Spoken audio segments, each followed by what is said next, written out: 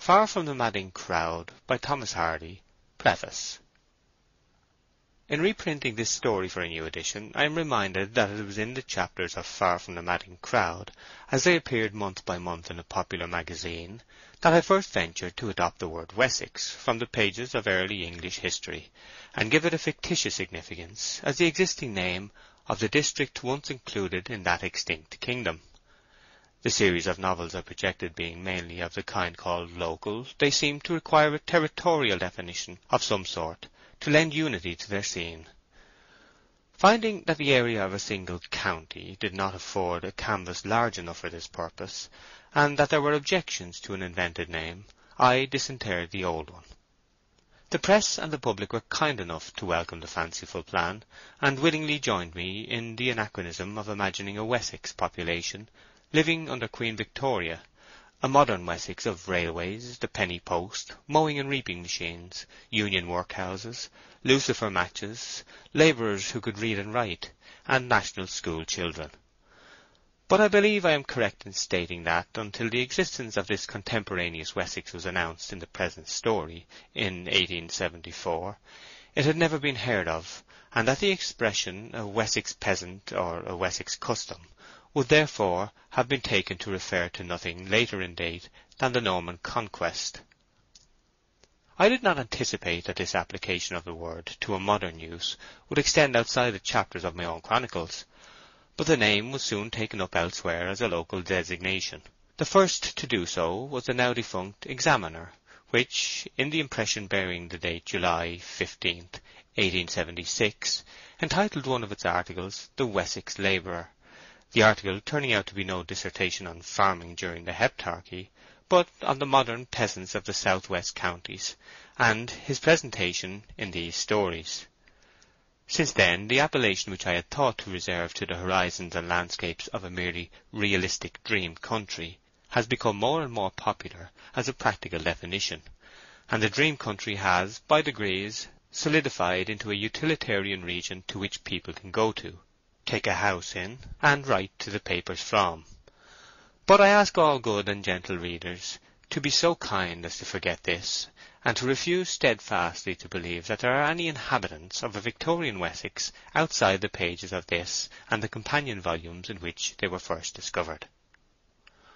Moreover, the village called Weatherbury, wherein the scenes of the present story of the series are for the most part laid, would perhaps be hardly discernible by the explorer without help in any existing place nowadays, though at the time, comparatively recent, at which the tale was written, a sufficient reality to meet the descriptions both of background and personages might have been traced easily enough.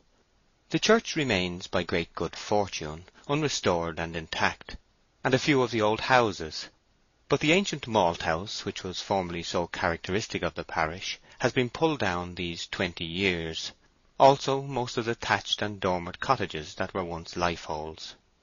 The game of prisoner's base, which not so long ago seemed to enjoy a perennial vitality in front of the worn-out stocks, may, so far as I can say, be entirely unknown to the rising generation of schoolboys there.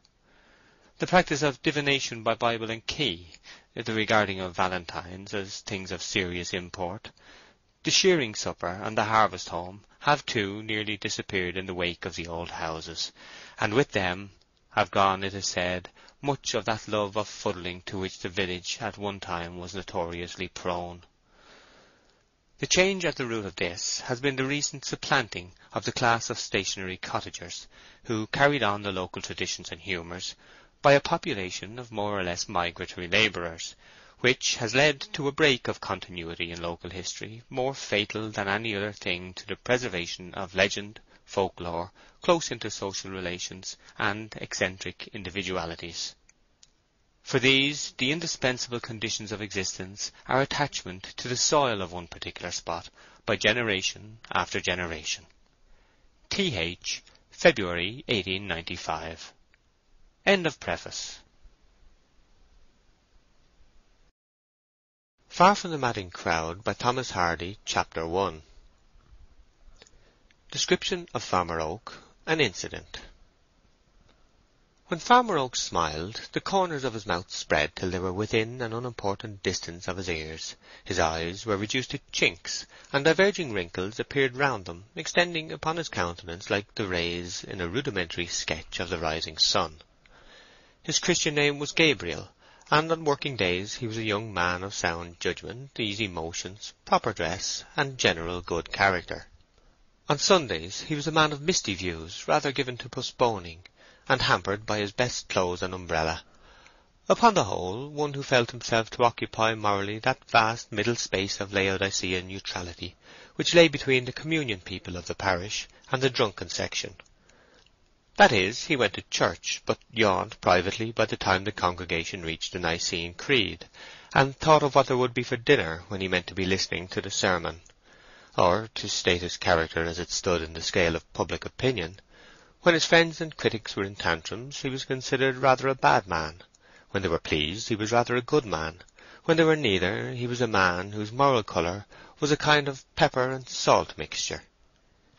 Since he lived six times as many working days as Sundays, Oak's appearance in his old clothes was most peculiarly his own, the mental picture formed by his neighbours in imagining him being always dressed in that way. He wore a low-crowned felt hat, spread out at the base by tight jamming upon the head for security in high winds, and a coat like Dr. Johnson's, his lower extremities being encased in ordinary leather leggings and boots emphatically large, affording to each foot a roomy apartment so constructed that any wearer might stand in a river all day long and know nothing of damp, their maker being a conscientious man who endeavoured to compensate for any weakness in his cut by unstinted dimension and solidity. Mr. Oak carried about him by way of watch what may be called a small silver clock; in other words, it was a watch as to shape and intention, and a small clock as to size. This instrument being several years older than Oak's grandfather, had the peculiarity of going either too fast or not at all. The smaller of its hands, too, occasionally slipped round on the pivot, and thus, though the minutes were told with precision, nobody could be quite certain of the hour they belonged to. The stopping peculiarity of his watch Oak remedied by thumps and shakes, and he escaped any evil consequences from the other two defects by constant comparisons with and observations of the sun and stars, and by pressing his face close to the glass of his neighbours' windows, till he could discern the hour marked by the green-faced timekeepers within. It may be mentioned that Oak's fob being difficult of access, by reason of its somewhat high situation in the waistband of his trousers, which also lay at a remote height under his waistcoat, the watch was as a necessity pulled out by throwing the body to one side, compressing the mouth and face to a mere mass of ruddy flesh on account of the exertion required, and drawing up the watch by its chain like a bucket from a well. But some thoughtful persons, who had seen him walking across one of his fields on a certain December morning, sunny and exceedingly mild, might have regarded Gabriel Oak in other aspects than these. In his face one might notice that many of the hues and curves of youth had tarried on to manhood. There even remained in his remoter cranny some relics of the boy. His height and breadth would have been sufficient to make his presence imposing had they been exhibited with due consideration. But there is a way some men have, rural and urban alike, for which the mind is more responsible than flesh and sinew. It is a way of curtailing their dimensions by their manner of showing them, and from a quiet modesty that would have become a vestal, which seems continually to impress upon him that he had no great claim on the world's room, Oak walked unassumingly, and with a faintly perceptible bend, yet distinct from a bowing of the shoulders. This may be said to be a defect in an individual if he depends for his valuation more upon his appearance than upon his capacity to wear well, which Oak did not. He had just reached the time of life at which young is ceasing to be the prefix of man in speaking of one. He was at the brightest period of masculine growth, for his intellect and his emotions were clearly separated. He had passed the time during which the influence of youth indiscriminately mingles them in the character of impulse, and he had not yet arrived at the stage wherein they become united again in the character of prejudice by the influence of a wife and family. In short, he was twenty-eight, and a bachelor. The field he was in this morning sloped to a ridge called Norcombe Hill. Through a spur of this hill ran the highway between Emminster and Chalk Newton. Casually glancing over the hedge, Oak saw coming down the incline before him an ornamental spring waggon, painted yellow and gaily marked, drawn by two horses, a waggoner walking alongside, bearing a whip perpendicularly. The waggon was laden with household goods and window plants, and on the apex of the whole sat a woman, young and attractive. Gabriel had not beheld the sight for more than half a minute, when the vehicle was brought to a standstill just beneath his eyes. "Tailboard of the waggon is gone, miss," said the waggoner. "Then I heard it fall," said the girl, in a soft, though not particularly low voice. "I heard a noise I could not account for when we were coming up the hill." "I'll run back." "Do," she answered. The sensible horses stood perfectly still, and the waggoner's steps sank fainter and fainter in the distance. The girl on the summit of the load sat motionless, surrounded by tables and chairs with their legs upwards, backed by an oak settle, and ornamented in front by pots of geraniums, myrtles, and cactuses, together with a caged canary, all probably from the windows of the house just vacated. There was also a cat in a willow basket, from the partly opened lid of which she gazed with half-closed eyes, and affectionately surveyed the small birds around. The handsome girl waited for some time idly in her place, and the only sound heard in the stillness was the hopping of the canary up and down the perches of its prison. Then she looked attentively downwards. It was not at the bird nor the cat. It was at an oblong package tied in paper and lying between them. She turned her head to learn if the waggoner were coming. He was not yet in sight, and her eyes crept back to the package, her thoughts seeming to run upon what was inside it. At length she drew the article into her lap and untied the paper covering. A small swing looking-glass was disclosed, in which she proceeded to survey herself attentively. She parted her lips and smiled. It was a fine morning, and the sun lighted up to a scarlet glow the crimson jacket she wore, and painted a soft lustre upon her bright face and dark hair. The myrtles, geraniums, and cactuses packed round her were fresh and green and at such a leafless season they invested the whole concern of horses, waggon, furniture, and girl with a peculiar vernal charm. What possessed her to indulge in such a performance in the sight of the sparrows, blackbirds, and unperceived farmer, who were alone its spectators, whether the smile began as a fictitious one, to test her capacity in that art, nobody knows. It ended certainly in a real smile. She blushed at herself, and seeing her reflection blush, blushed the more. The change from the customary spot and necessary occasion of such an act, from the dressing hour in a bedroom to a time of travelling out of doors, lent to the idle deed a novelty it did not intrinsically possess. The picture was a delicate one. Woman's prescriptive infirmity had stalked into the sunlight, which had clothed it in the freshness of an originality. A cynical inference was irresistible by Gabriel Oak as he regarded the scene, generous though he fain would have been. There was no necessity whatever for her looking in the glass. She did not adjust her hat, or pat her hair, or press a dimple into shape, or do one thing to signify that any such intention had been her motive in taking up the glass. She simply observed herself as a fair product of nature in the feminine kind, her thoughts seeming to glide into far-off though likely dramas in which men would play a part, vistas of probable triumphs, the smiles being of a phase suggesting that hearts were imagined as lost and won. Still, this was but conjecture, and the whole series of actions was so idly put forth as to make it rash to assert that intention had any part in them at all. The waggoner's steps were heard returning. She put the glass in the paper, and the whole again into its place. When the waggon had passed on, Gabriel withdrew from his point of espial and descended into the road, followed the vehicle to the turnpike gate some way beyond the bottom of the hill, where the object of his contemplation now halted for the payment of toll. About twenty steps still remained between him and the gate, when he heard a dispute. It was a difference concerning two pence between the persons with the waggon and the man at the toll bar. Mrs. niece is upon the top of the things, and she says that that's enough that I've offered ye, ye great miser, and she won't pay any more. These were the waggoner's words. Very well, then Mrs. niece can't pass, said the turnpike keeper, closing the gate. Oak looked from one to the other of the disputants, and fell into a reverie. There was something in the tone of twopence remarkably insignificant. Threepence had as definite value as money; it was an appreciable infringement on a day's wages, and as such a higgling matter. But twopence! "Here," he said, stepping forward and handing twopence to the gatekeeper. "Let the young woman pass." He looked up at her then; she heard his words, and looked down.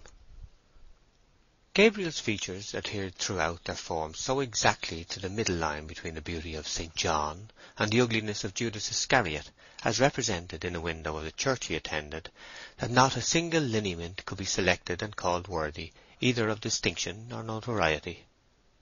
The red-jacketed and dark-haired maiden seemed to think so too, for she carelessly glanced over him and told her man to drive on.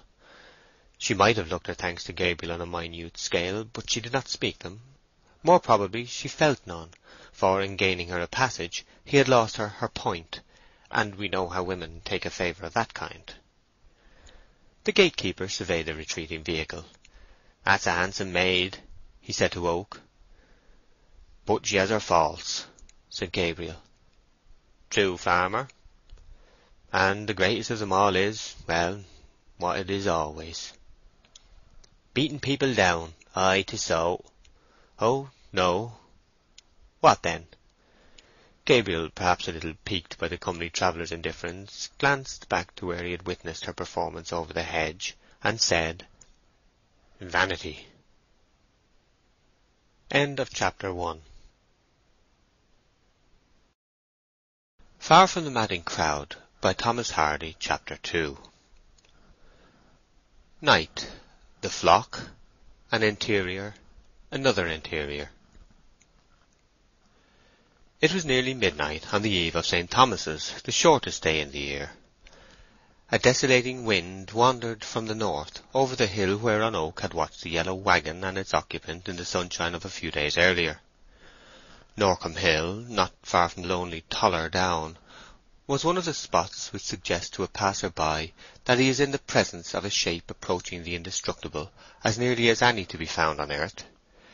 It was a featureless convexity of chalk and soil, an ordinary specimen of those smoothly outlined protuberances of the globe which may remain undisturbed on some great day of confusion, when far grander heights and dizzy granite precipices topple down. The hill was covered on its northern side by an ancient and decaying plantation of beeches, whose upper verge formed a line over the crest, fringing its arched curve against the sky like a mane.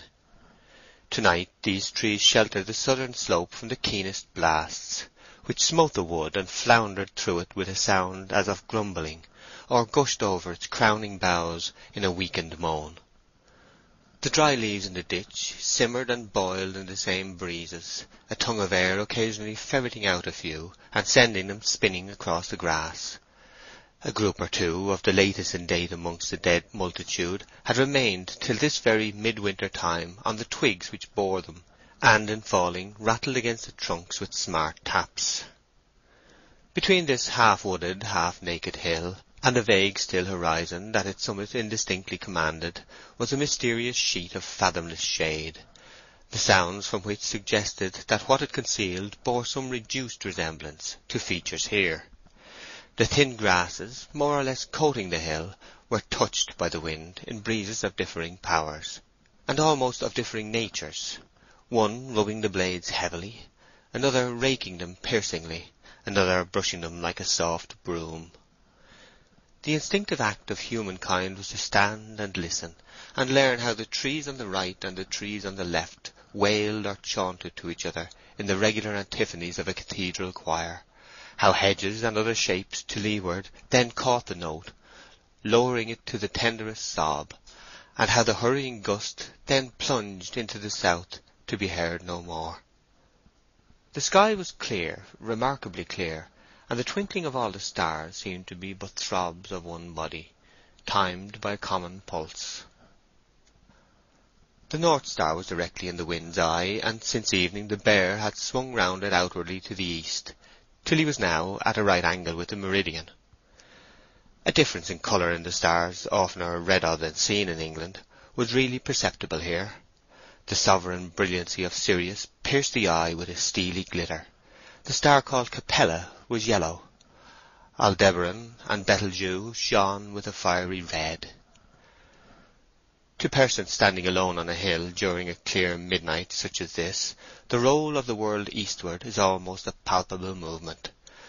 The sensation may be caused by the panoramic glide of the stars past earthly objects, which is perceptible in a few minutes of stillness, or by the better outlook upon space that a hill affords, or by the wind, or by the solitude, but whatever be its origin, the impression of riding along is vivid and abiding.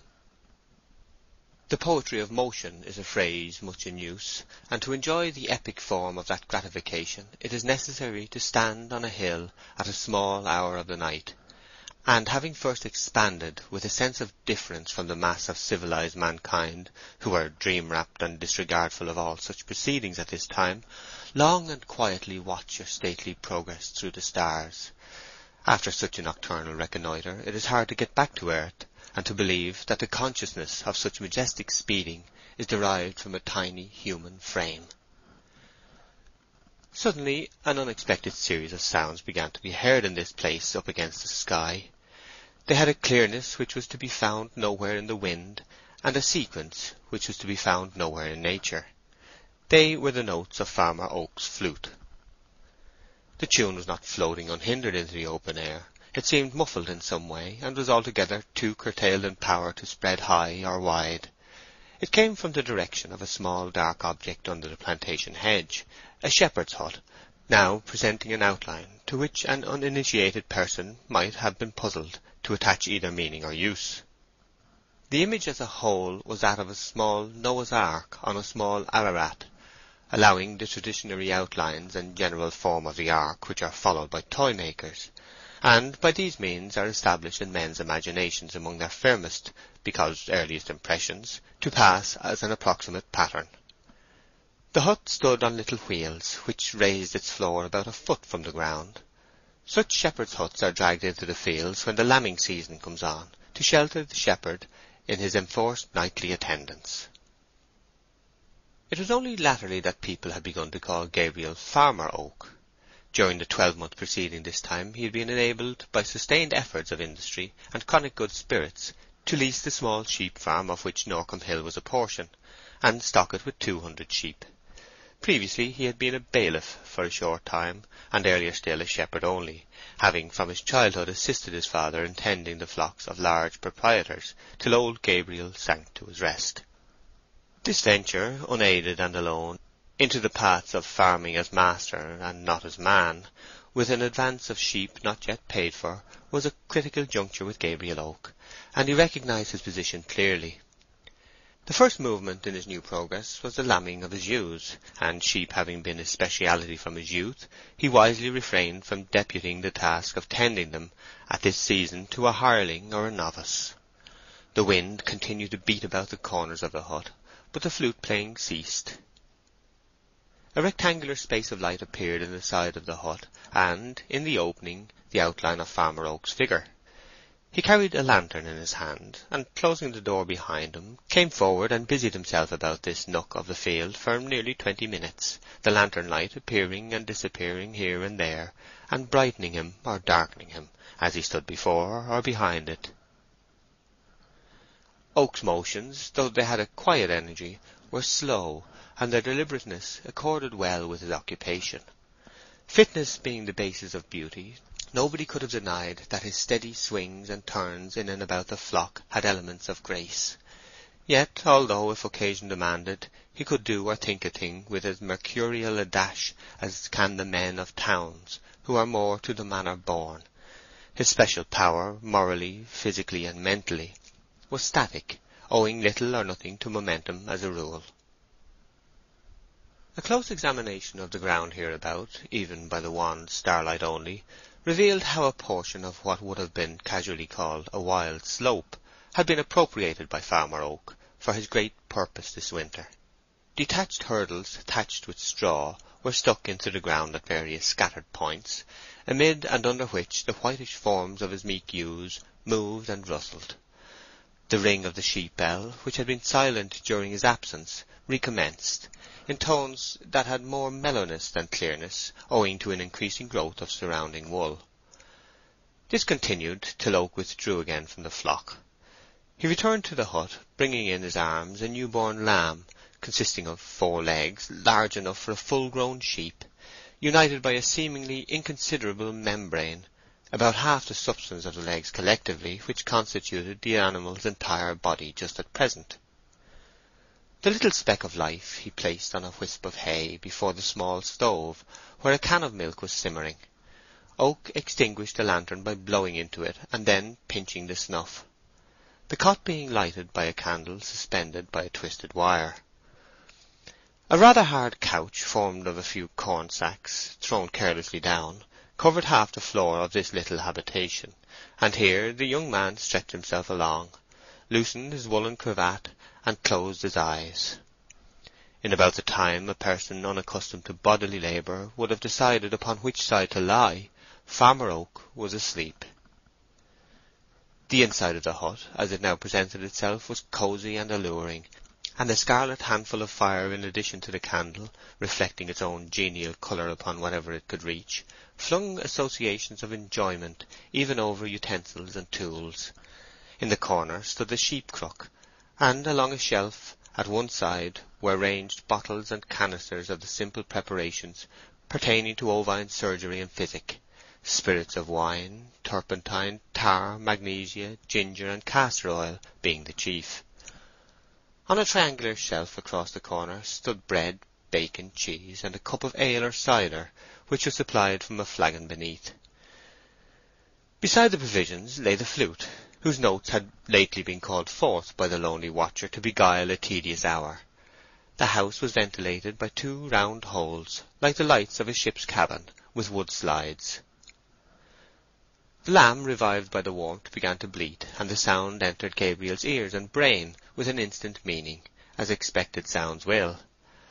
Passing from the profoundest sleep to the most alert wakefulness with the same ease that had accompanied the reverse operation, he looked at his watch, found that the hour hand had shifted again, put on his hat, took the lamb in his arms, and carried it into the darkness. After placing the little creature with its mother, he stood and carefully examined the sky, to ascertain the time of night from the altitude of the stars. The Dog Star and Aldebaran, pointing to the restless Pleiades, were halfway up the southern sky, and between them hung Orion, which gorgeous constellation never burnt more vividly than now, as it soared forth above the rim of the landscape.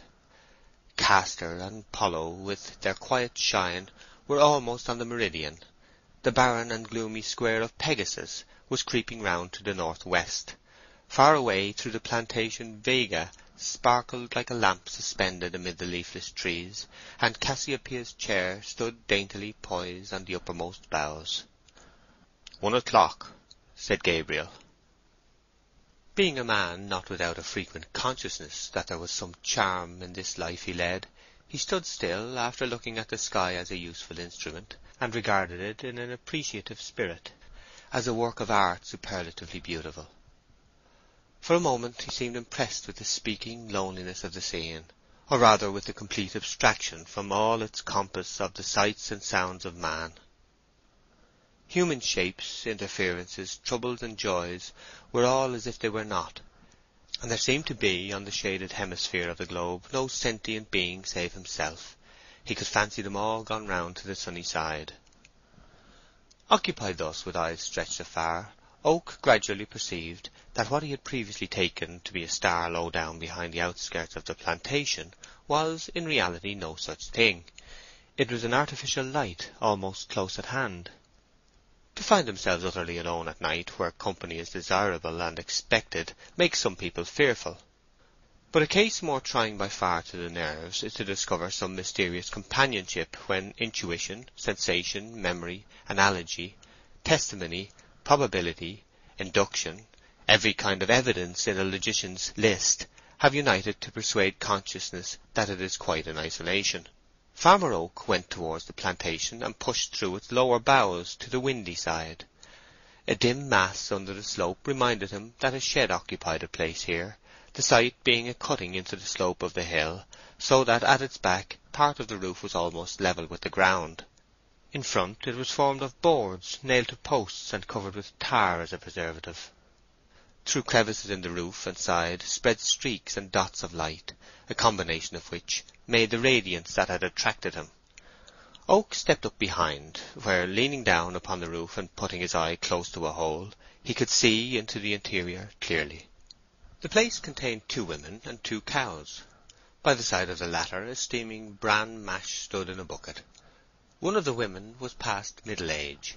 Her companion was apparently young and graceful, he could form no decided opinion upon her looks, her position being almost beneath his eye, so that he saw her in a bird's eye view, as Milton's Satan first saw Paradise. She wore no bonnet or hat, but had enveloped herself in a large cloak, which was carelessly flung over her head as a covering. "There, now we'll go home," said the elder of the two, resting her knuckles upon her hips, and looking at their goings on as a whole. "I do hope Daisy will fetch round again now. I've never been more frightened in my life, but I don't mind breaking my rest if she recovers." The young woman, whose eyelids were apparently inclined to fall together on the smallest provocation of silence, yawned without parting her lips to any inconvenient extent, whereupon Gabriel caught the infection and slightly yawned in sympathy. "I wish we were rich enough to pay a man to do these things," she said. "As we are not, we must do them ourselves," said the other for you must help me if you stay." "Well, my hat is gone, however," continued the younger. "It went over the hedge, I think. The idea of such a slight wind catching it!" The cow, standing erect, was of the Devon breed, and was encased in a tight, warm hide of rich Indian red, as absolutely uniform from eyes to tail as if the animal had been dipped in a dye of that colour, her long back being mathematically level. The other was spotted, grey and white. Beside her Oak now noticed a little calf about a day old, looking idiotically at the two women, which showed that it had not long been accustomed to the phenomenon of eyesight, and often turning to the lantern, which it apparently mistook for the moon, inherited instinct having as yet had little time for correction by experience. Between the sheep and the cows, Lucina had been busy on Norcombe Hill lately. "I think we had better send for some oatmeal," said the elder woman. "There's no more bran." "Yes, aunt. I'll ride over for it as soon as it is light." "But there's no side saddle." "I can ride on the other, trust me." Oak, upon hearing these remarks, became more curious to observe her features, but this prospect being denied him by the hooding effect of the cloak, and by his aerial position, he felt himself drawing upon his fancy for their details. In making even horizontal and clear inspections we colour and mould according to the wants within us, whatever our eyes bring in. Had Gabriel been able from the first to get a distinct view of her countenance, his estimate of it as very handsome or slightly so would have been as his soul required a divinity at the moment, or was ready supplied with one. Having for some time known the want of a satisfactory form to fill an increasing void within him, his position moreover affording the widest scope for his fancy, he painted her a beauty. By one of those whimsical coincidences in which nature, like a busy mother, seems to spare a moment from her unremitting labours to turn and make her children smile, the girl now dropped the cloak, and forth tumbled ropes of black hair over a red jacket. Oak knew her instantly as the heroine of the yellow waggon, myrtles, and looking-glass, prosily as the woman who owed him twopence. They placed the calf beside its mother again, took up the lantern, and went out, the light sinking down the hill till it was no more than a nebula. Gabriel Oak returned to his flock. End of chapter two. Far from the Madding Crowd by Thomas Hardy, Chapter 3 A girl on horseback Conversation the sluggish day began to break. Even its position terrestrially is one of the elements of a new interest, and for no particular reason save that the incident of the night had occurred there, Oak went again into the plantation. Lingering and musing here, he heard the steps of a horse at the foot of the hill, and soon there appeared in view an auburn pony with a girl on its back, ascending by the path leading past the cattle shed. She was the young woman of the night before. Gabriel instantly thought of the hat she had mentioned as having lost in the wind, Possibly she had come to look for it. He hastily scanned the ditch, and after walking about ten yards along it, found the hat among the leaves. Gabriel took it in his hand and returned to his hut. Here he ensconced himself, and peeped through the loophole in the direction of the rider's approach. She came up and looked around, then on the other side of the hedge.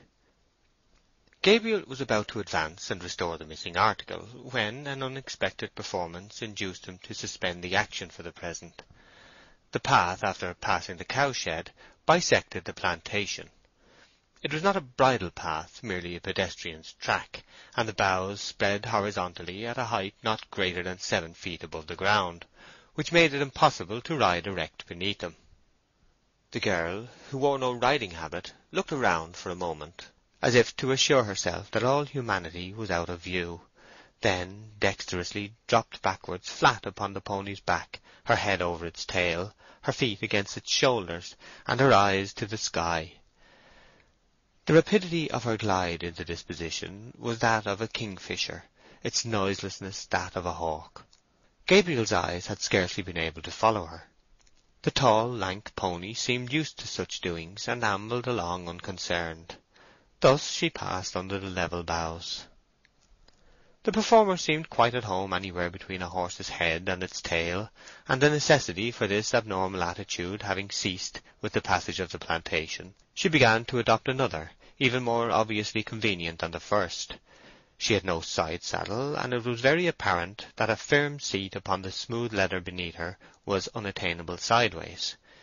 Springing to her accustomed perpendicular like a bowed sapling, and satisfying herself that nobody was in sight, she seated herself in the manner demanded by the saddle, though hardly expected of the woman, and trotted off in the direction of Tewnell Mill. Oak was amused, perhaps a little astonished, and hanging up the hat in his hut went again among his ewes. An hour passed. The girl returned, properly seated now, with a bag of bran in front of her. On nearing the cattle shed she was met by a boy bringing a milking pail, who held the reins of the pony whilst she slid off. The boy led away the horse, leaving the pail with the young woman. Soon soft spurts alternating with loud spurts came in regular succession from within the shed, the obvious sounds of a person milking a cow. Gabriel took the lost hat in his hand and waited beside the path she would follow in leaving the hill. She came, the pail in one hand, hanging against her knee. The left arm was extended as a balance, enough of it being shown bare to make Oak wish that the event had happened in the summer, when the whole would have been revealed. There was a bright air and manner about her now, by which she seemed to imply that the desirability of her existence could not be questioned. And this rather saucy assumption failed in being offensive because the beholder felt it to be, upon the whole, true. Like exceptional emphasis in the tone of a genius, that which would have made mediocrity ridiculous was an addition to recognized power. It was with some surprise that she saw Gabriel's face rising like the moon behind the hedge. The adjustment of the farmer's hazy conceptions of her charms to the portrait of herself she now presented him with was less a diminution than a difference. The starting point selected by the judgment was her height. She seemed tall, but the pail was a small one and the hedge diminutive. Hence, making allowance for error by comparison with these, she could have been not above the height to be chosen by women as best. All features of consequence were severe and regular. It may have been observed by persons who go about the shires with eyes for beauty, that in English woman a classically formed face is seldom found to be united with a figure of the same pattern, the highly finished features being generally too large for the remainder of the frame, that a graceful and proportionate figure of eight heads usually goes off into random facial curves. Without throwing a Nymphean tissue over a milkmaid, let it be said that here criticism checked itself as out of place, and looked at her proportions with a long consciousness of pleasure. From the contours of her figure in its upper part, she must have had a beautiful neck and shoulders, but since her infancy nobody had ever seen them. Had she been put into a low dress she would have run and thrust her head into a bush. Yet she was not a shy girl by any means. It was merely her instinct to draw the line dividing the seen from the unseen higher than they do in towns. That the girl's thoughts hovered about her face and form as soon as she caught Oak's eye conning the same page was natural and almost certain. The self-consciousness shown would have been vanity if a little more pronounced, a dignity if a little less. Rays of male vision seem to have a tickling effect upon virgin faces in rural districts. She brushed hers with her hand, as if Gabriel had been irritating its pink surface by actual touch, and the free air of her previous movements was reduced at the same time to a chastened phase of itself. Yet it was the man who blushed, the maid not at all. "I found a hat," said Oak. "It is mine," she said, and from a sense of proportion kept down to a small smile an inclination to laugh distinctly. "It flew away last night." "One o'clock this morning." "Well, it was." She was surprised. "How, how did you know?" she said. "I was here." "You are Farmer Oak, are you not?" "That or thereabouts. I am lately come to this place." "A large farm?" she inquired, casting her eyes round and swinging back her hair, which was black in the shaded hollows of its mass, but it being now an hour past sunrise the rays touched its prominent curves with a colour of their own. "No, not large. About a hundred." In speaking of farms the word acres is omitted by the natives, by analogy to such old expressions as a stag of ten. "I wanted my hat this morning," she went on. "I had to ride to Tewnell Mill." "Yes, you had." "How do you know?" "I saw you." "Where?" she inquired, a misgiving bringing every muscle of her lineaments and frame to a standstill. "Here, going through the plantation, and all down the hill," said Farmer Oak, with an aspect excessively knowing with regard to some matter in his mind, as he gazed at a remote point in the direction named, and then turned back to meet his colloquist's eyes. A perception caused him to withdraw his own eyes from hers as suddenly as if he had been caught in a theft. Recollection of the strange antics she had indulged in when passing through the trees was succeeded in the girl by a nettled palpitation, and that by a hot face. It was a time to see a woman redden who was not given to reddening as a rule. Not a point in the milkmaid but was of the deepest rose colour.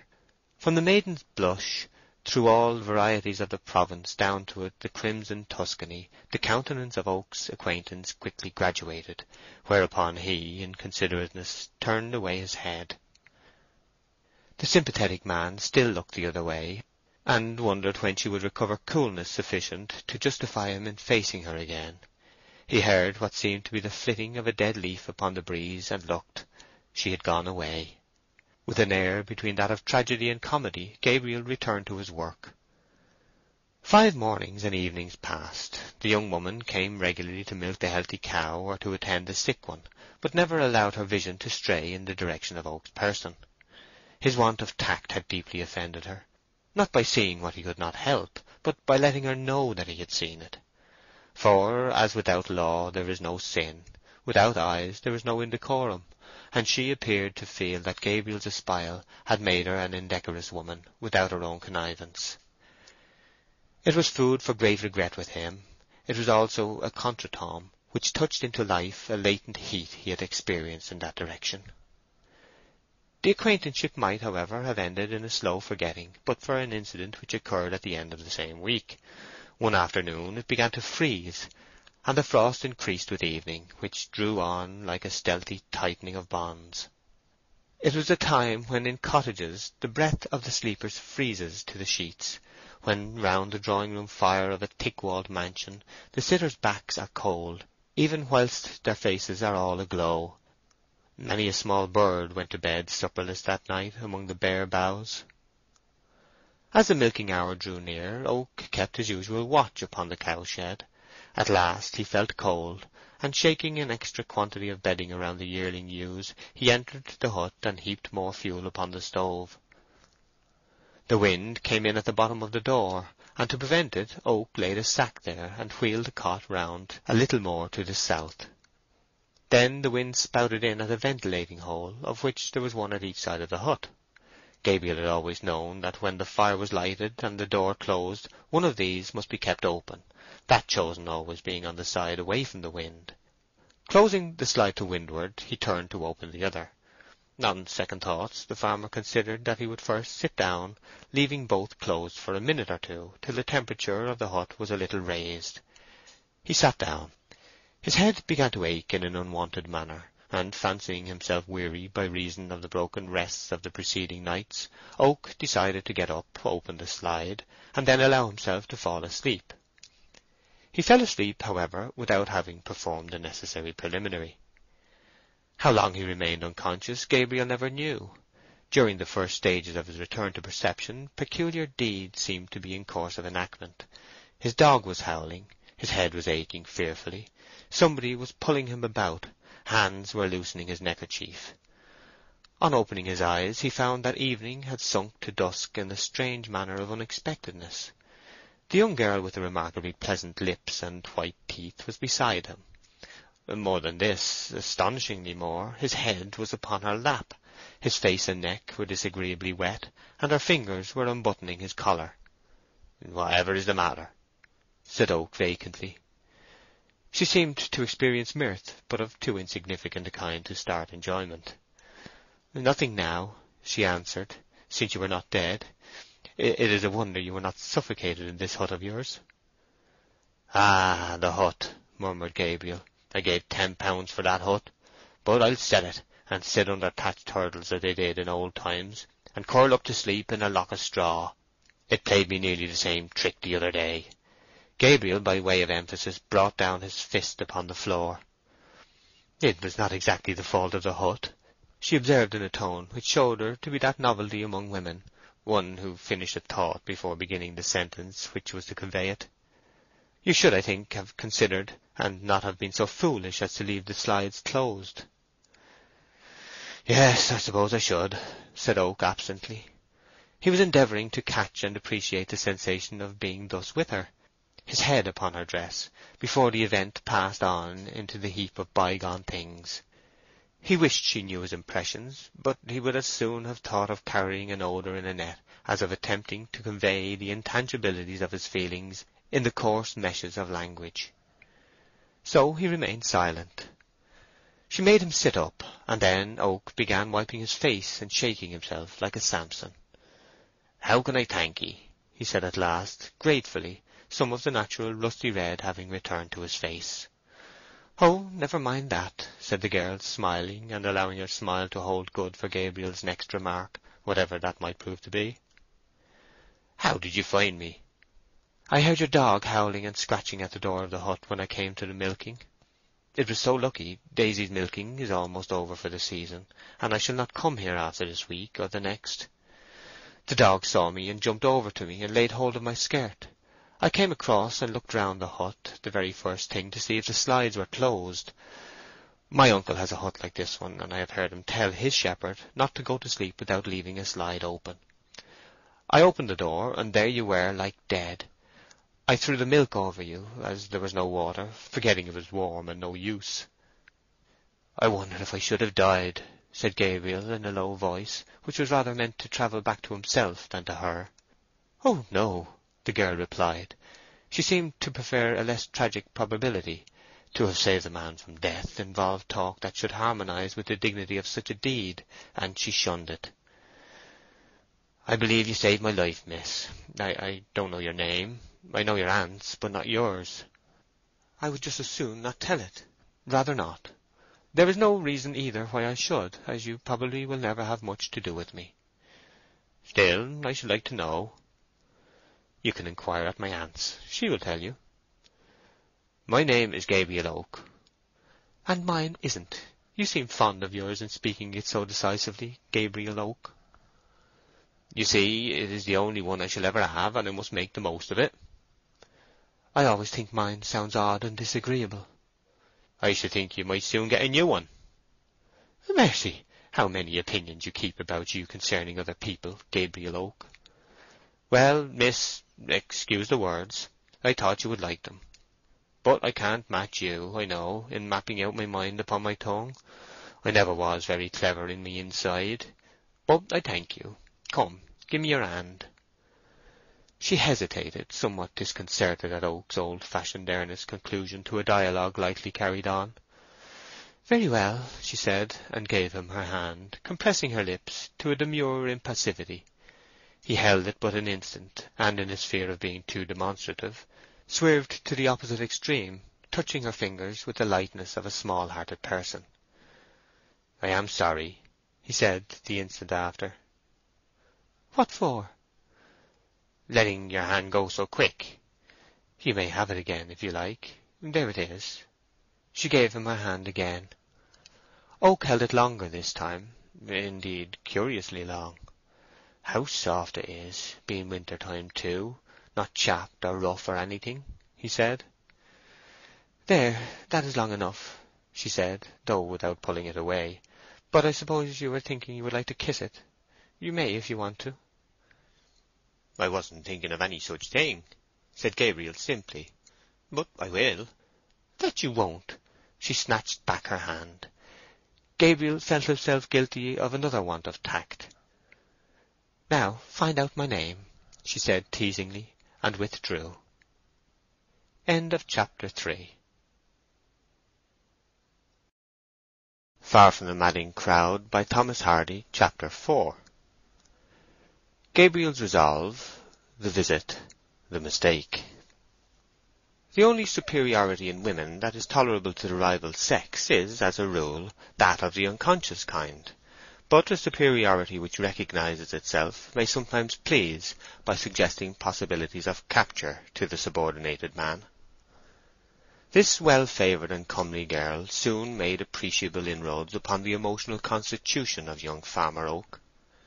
Love being an extremely exacting usurer, a sense of exorbitant profit spiritually by an exchange of hearts being at the bottom of pure passions, as that of exorbitant profit bodily or material is at the bottom of those of lower atmosphere. Every morning Oak's feelings were as sensitive as the money market in calculations upon his chances. His dog waited for his meals in a way so like that in which Oak waited for the girl's presence that the farmer was quite struck with the resemblance, felt it lowering, and would not look at the dog. However, he continued to watch through the hedge for her regular coming, and thus his sentiments towards her were deepened without any corresponding effect being produced upon herself. Oak had nothing finished and ready to say as yet, and not been able to frame love phrases which end where they begin, passionate tales, full of sound and fury, signifying nothing. He said no word at all. By making inquiries he found that the girl's name was Bathsheba Everdene, and that the cow would go dry in about seven days. He dreaded the eighth day. At last the eighth day came. The cow had ceased to give milk for that year, and Bathsheba Everdene came up the hill no more. Gabriel had reached a pitch of existence he could never have anticipated a short time before. He liked saying Bathsheba as a private enjoyment instead of whistling turned over his taste to black hair, though he had sworn by brown ever since he was a boy, isolated himself till the space he filled in the public eye was contemptibly small. Love is a possible strength in an actual weakness. Marriage transforms a distraction into a support, the power of which should be, and happily often is, in direct proportion to the degree of imbecility it supplants. Oak began now to see light in this direction, and said to himself, I'll make her my wife, or upon my soul I shall be good for nothing. All this while he was perplexing himself about an errand on which he might consistently visit the cottage of Bathsheba's aunt. He found his opportunity in the death of a ewe, mother of a living lamb. On a day which had a summer face and a winter constitution, a fine January morning, when there was just enough blue sky visible to make cheerfully disposed people wish for more, and an occasional gleam of silvery sunshine, Oak put the lamb into a respectable Sunday basket, and stalked across the fields to the house of Mrs. Hurst, the aunt, George the dog walking behind, with a countenance of great concern at the serious turn pastoral affairs seemed to be taking. Gabriel had watched the blue wood smoke curling from the chimney with strange meditation. At evening he had fancifully traced it down the chimney to the spot of its origin, seen the hearth and Bathsheba beside it, beside it in her outdoor dress, for the clothes she had worn on the hill were by association equally with her person included in the compass of his affection. They seemed at this early time of his love a necessary ingredient of the sweet mixture called Bathsheba Everdene. He made a toilette of a nicely adjusted kind, of a nature between the carefully neat and the carelessly ornate, of a degree between fine market day and wet Sunday selection. He thoroughly cleaned his silver watch chain with whiting, put new lacing straps to his boots, looked to the brass eyelet holes, went to the inmost heart of the plantation for a new walking stick, and trimmed it vigorously on his way back, took a new handkerchief from the bottom of his clothes box, put on the light waistcoat patterned all over with sprigs of an elegant flower uniting the beauties of both rose and lily without the defect of either, and used all the hair oil he possessed upon his usually dry, sandy, and inextricably curly hair, till he had deepened it to a splendidly novel colour between that of guano and Roman cement, making it stick to his head like mace round a nutmeg, or wet seaweed round a boulder after the ebb. Nothing disturbed the stillness of the cottage save the chatter of a knot of sparrows on the eaves, one might fancy scandal and rumour to be no less the staple topic of these little coteries on roofs than of those under them. It seemed that the omen was an unpropitious one, for, as the rather untoward commencement of Oak's overtures, just as he arrived by the garden gate, he saw a cat inside, going into various arched shapes and fiendish convulsions at the sight of his dog George, the dog took no notice, for he had arrived at an age at which all superfluous barking was cynically avoided as a waste of breath. In fact, he never barked even at the sheep, except to order, when it was done with an absolutely neutral countenance, as a sort of commination service, which, though offensive, had to be gone through once now and then to frighten the flock for their own good. A voice came from behind some laurel bushes into which the cat had run. "Poor dear! Did a nasty brute of a dog want to kill it? Did he, poor dear?" "I beg your pardon," said Oak to the voice, "but George was walking on behind me with a temper as mild as milk." Almost before he had ceased speaking Oak was seized with a misgiving as to whose ear was the recipient of his answer. Nobody appeared, and he heard the person retreat among the bushes. Gabriel meditated, and so deeply that he brought small furrows into his forehead by sheer force of reverie. Where the issue of an interview is as likely to be a vast change for the worse as for the better, any initial difference from expectation causes nipping sensations of failure. Oak went up to the door a little abashed. His mental rehearsal and the reality had had no common grounds of opening. Bathsheba's aunt was indoors. "Will you tell Miss Everdene that somebody would be glad to speak to her?" said Mr. Oak. Calling oneself merely somebody, without giving a name, is not to be taken as an example of the ill breeding of the rural world. It springs from a refined modesty of which townspeople with their cards and announcements have no notion whatever. Bathsheba was out. The voice had evidently been hers. "Will you come in, Mr. Oak?" "Oh, thank ye," said Gabriel, following her to the fireplace. "I brought a lamb for Miss Everdene. I thought she might like one to rear. Girls do." "She might," said Mrs. Hurst musingly, "though she's only a visitor here. If you will wait a minute Bathsheba will be in." "Yes, I will wait," said Gabriel, sitting down. "The lamb isn't really the business I came about, Mrs. Hurst. In short, I was going to ask her if she'd like to be married." "And were you indeed?" "Yes, because if she would, I should be very glad to marry her. Do you know if she's got any other young man hanging about her at all?"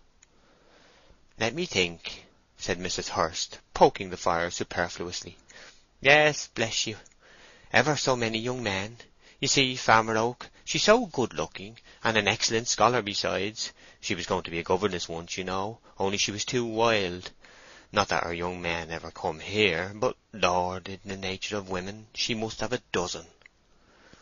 "Oh, that's unfortunate said Farmer Oak, contemplating a crack in the stone floor with sorrow.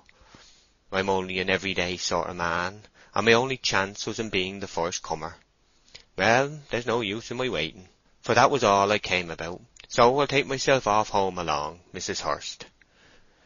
When Gabriel had gone about two hundred yards along the down, he heard a "Hi! hi!"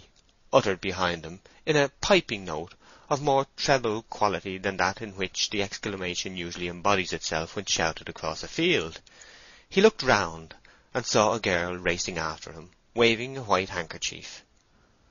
Oak stood still, and the runner drew nearer. It was Bathsheba Everdene. Gabriel's colour deepened. Hers was already deep, not, as it appeared, from emotion, but from running. "Farmer Oak!" She said, pausing for want of breath, pulling up in front of him with a slanted face, and putting her hand to her side. "I have just called to see you," said Gabriel, pending her further speech. "Yes, I know that," she said, panting like a robin, her face red and moist from her exertions, like a peony petal before the sun dries off the dew. "I didn't know you had come to ask to have me, or I should have come in from the garden instantly. I ran after you to say that my aunt made a mistake in sending you away from courting me." Gabriel expanded. "I'm sorry to have made you run so fast, my dear," he said, with a grateful sense of favours to come. "Wait a bit till you've found your breath." "It was quite a mistake, aunt's telling you I had a young man already," Bathsheba went on. "I haven't a sweetheart at all, and I never had one, and I thought that, as times go with women, it was such a pity to send you away thinking that I had several. "Really and truly I am glad to hear that," said Farmer Oak, smiling one of his long, special smiles, and blushing with gladness. He held out his hand to take hers, which, when she had eased her side by pressing it there, was prettily extended upon her bosom to still her loud beating heart. Directly he seized it she put it behind her, so that it slipped through his fingers like an eel. "I have a nice snug little farm," said Gabriel, with half a degree less assurance than when he had seized her hand. "Yes, you have." "A man has advanced me money to begin with, but still it will soon be paid off, and though I'm only an everyday sort of man, I have got on a little since I was a boy." Gabriel uttered "a little" in a tone to show her that it was in the complacent form of "a great deal." He continued. When we be married I am quite sure I can work twice as hard as I do now." He went forward and stretched out his arm again. Bathsheba had overtaken him at a point beside which stood a low stunted holly bush, now laden with red berries. Seeing his advance take the form of an attitude threatening a possible enclosure, if not compression, of her person, she edged off round the bush. "Why, Farmer Oak," she said over the top, looking at him with rounded eyes, I never said I was going to marry you." "Well, that is a tale," said Oak with dismay. "To run after anybody like this, and then say you don't want him." "What I meant to tell you was only this," she said eagerly, and yet half conscious of the absurdity of the position she had made for herself, "that nobody has got me yet as a sweetheart, instead of my having a dozen, as my aunt said. I hate to be thought of as men's property in that way, though possibly I shall be had some day. Why, if I'd wanted you I shouldn't have run after you like this. 'Twould have been the forwardest thing. But there was no harm in hurrying to correct a piece of false news that had been told you." "Oh, no, no harm at all. But there is such a thing as being too generous in expressing a judgment impulsively, and oh, Oak added, with a more appreciative sense of all the circumstances, "Well, I'm not quite certain there was no harm. Indeed, I hadn't time to think before starting whether I wanted to marry or not, for you'd have been gone over the hill." "Come," said Gabriel, freshening again, "think a minute or two. I'll wait a while, Miss Everdene. Will you marry me? Do, Bathsheba. I love you far more than common." "I'll try to think," she observed, rather more timorously, "if I can think out of doors. My mind spreads away so." "But you can give a guess." "Then give me time." Bathsheba looked thoughtfully into the distance, away from the direction in which Gabriel stood. "I can make you happy," he said to the back of her head, across the bush. "You shall have a piano in a year or two. Farmers' wives are getting to have pianos now, and I'll practise up the flute right well to play with you in the evenings." "Yes, I should like that." "And have one of those little ten pound gigs for market, and nice flowers and birds. Cocks and hens, I mean, because they be useful," continued Gabriel, feeling balanced between poetry and practicality. "I should like it very much." "And a frame for cucumbers, like a gentleman and lady." "Yes." "And when the wedding was over, we'd have it put in the newspapers list of marriages." "Dearly I should like that." and the babies in the births, every man jack of 'em, and at home by the fire whenever you look up, there I shall be, and whenever I look up, there will be you." "Wait, wait, and don't be improper." Her countenance fell, and she was silent a while. He regarded the red berries between them over and over again, to such an extent that holly seemed in his after life to be a cipher signifying a proposal of marriage. Bathsheba decisively turned to him. "No, 'tis no use," she said. "I don't want to marry you." "Try." "I have tried hard all the time I've been thinking, for a marriage would be very nice in one sense. People would talk about me, and think I had won my battle, and I should feel triumphant, and all that. But a husband—" "Well?" "Why, he'd always be there, as you say. Whenever I looked up, there he'd be." "Of course he would. I, that is." "Well, what I mean is that I shouldn't mind being a bride at a wedding, if I could be one without having a husband. But since a woman can't show off in that way by herself, I shan't marry—at uh, least yet." "That's a terrible wooden story." At this criticism of her statement Bathsheba made an addition to her dignity by a slight sweep away from him. "'Pon my heart and soul, I don't know what a maid can say stupider than that," said Oak. "But, dearest," he continued in a palliative voice, "don't be like it." Oak sighed a deep honest sigh, none the less so in that, being like the sigh of a pine plantation, it was rather noticeable as a disturbance of the atmosphere. "Why won't you have me?" he appealed, creeping round the holly to reach her side. "I cannot," she said, retreating. "But why?" he persisted, standing still at last in despair of ever reaching her, and facing over the bush. "Because I don't love you." "Yes, but—" She contracted a yawn to an inoffensive smallness, so that it was hardly ill-mannered at all. "I don't love you," she said. "But I love you, and as for myself, I am content to be liked." "Oh, Mr. Oak, that's very fine. You'd get to despise me." "Never!" said Mr. Oak, so earnestly that he seemed to be coming by the force of his words straight through the bush and into her arms. "I shall do one thing in this life, one thing certain, that is, love you, and long for you, and keep wanting you till I die. His voice had a genuine pathos now, and his large brown hands perceptibly trembled. "It seems dreadfully wrong not to have you when you feel so much," she said with a little distress, and looking hopelessly around for some means of escape from her moral dilemma.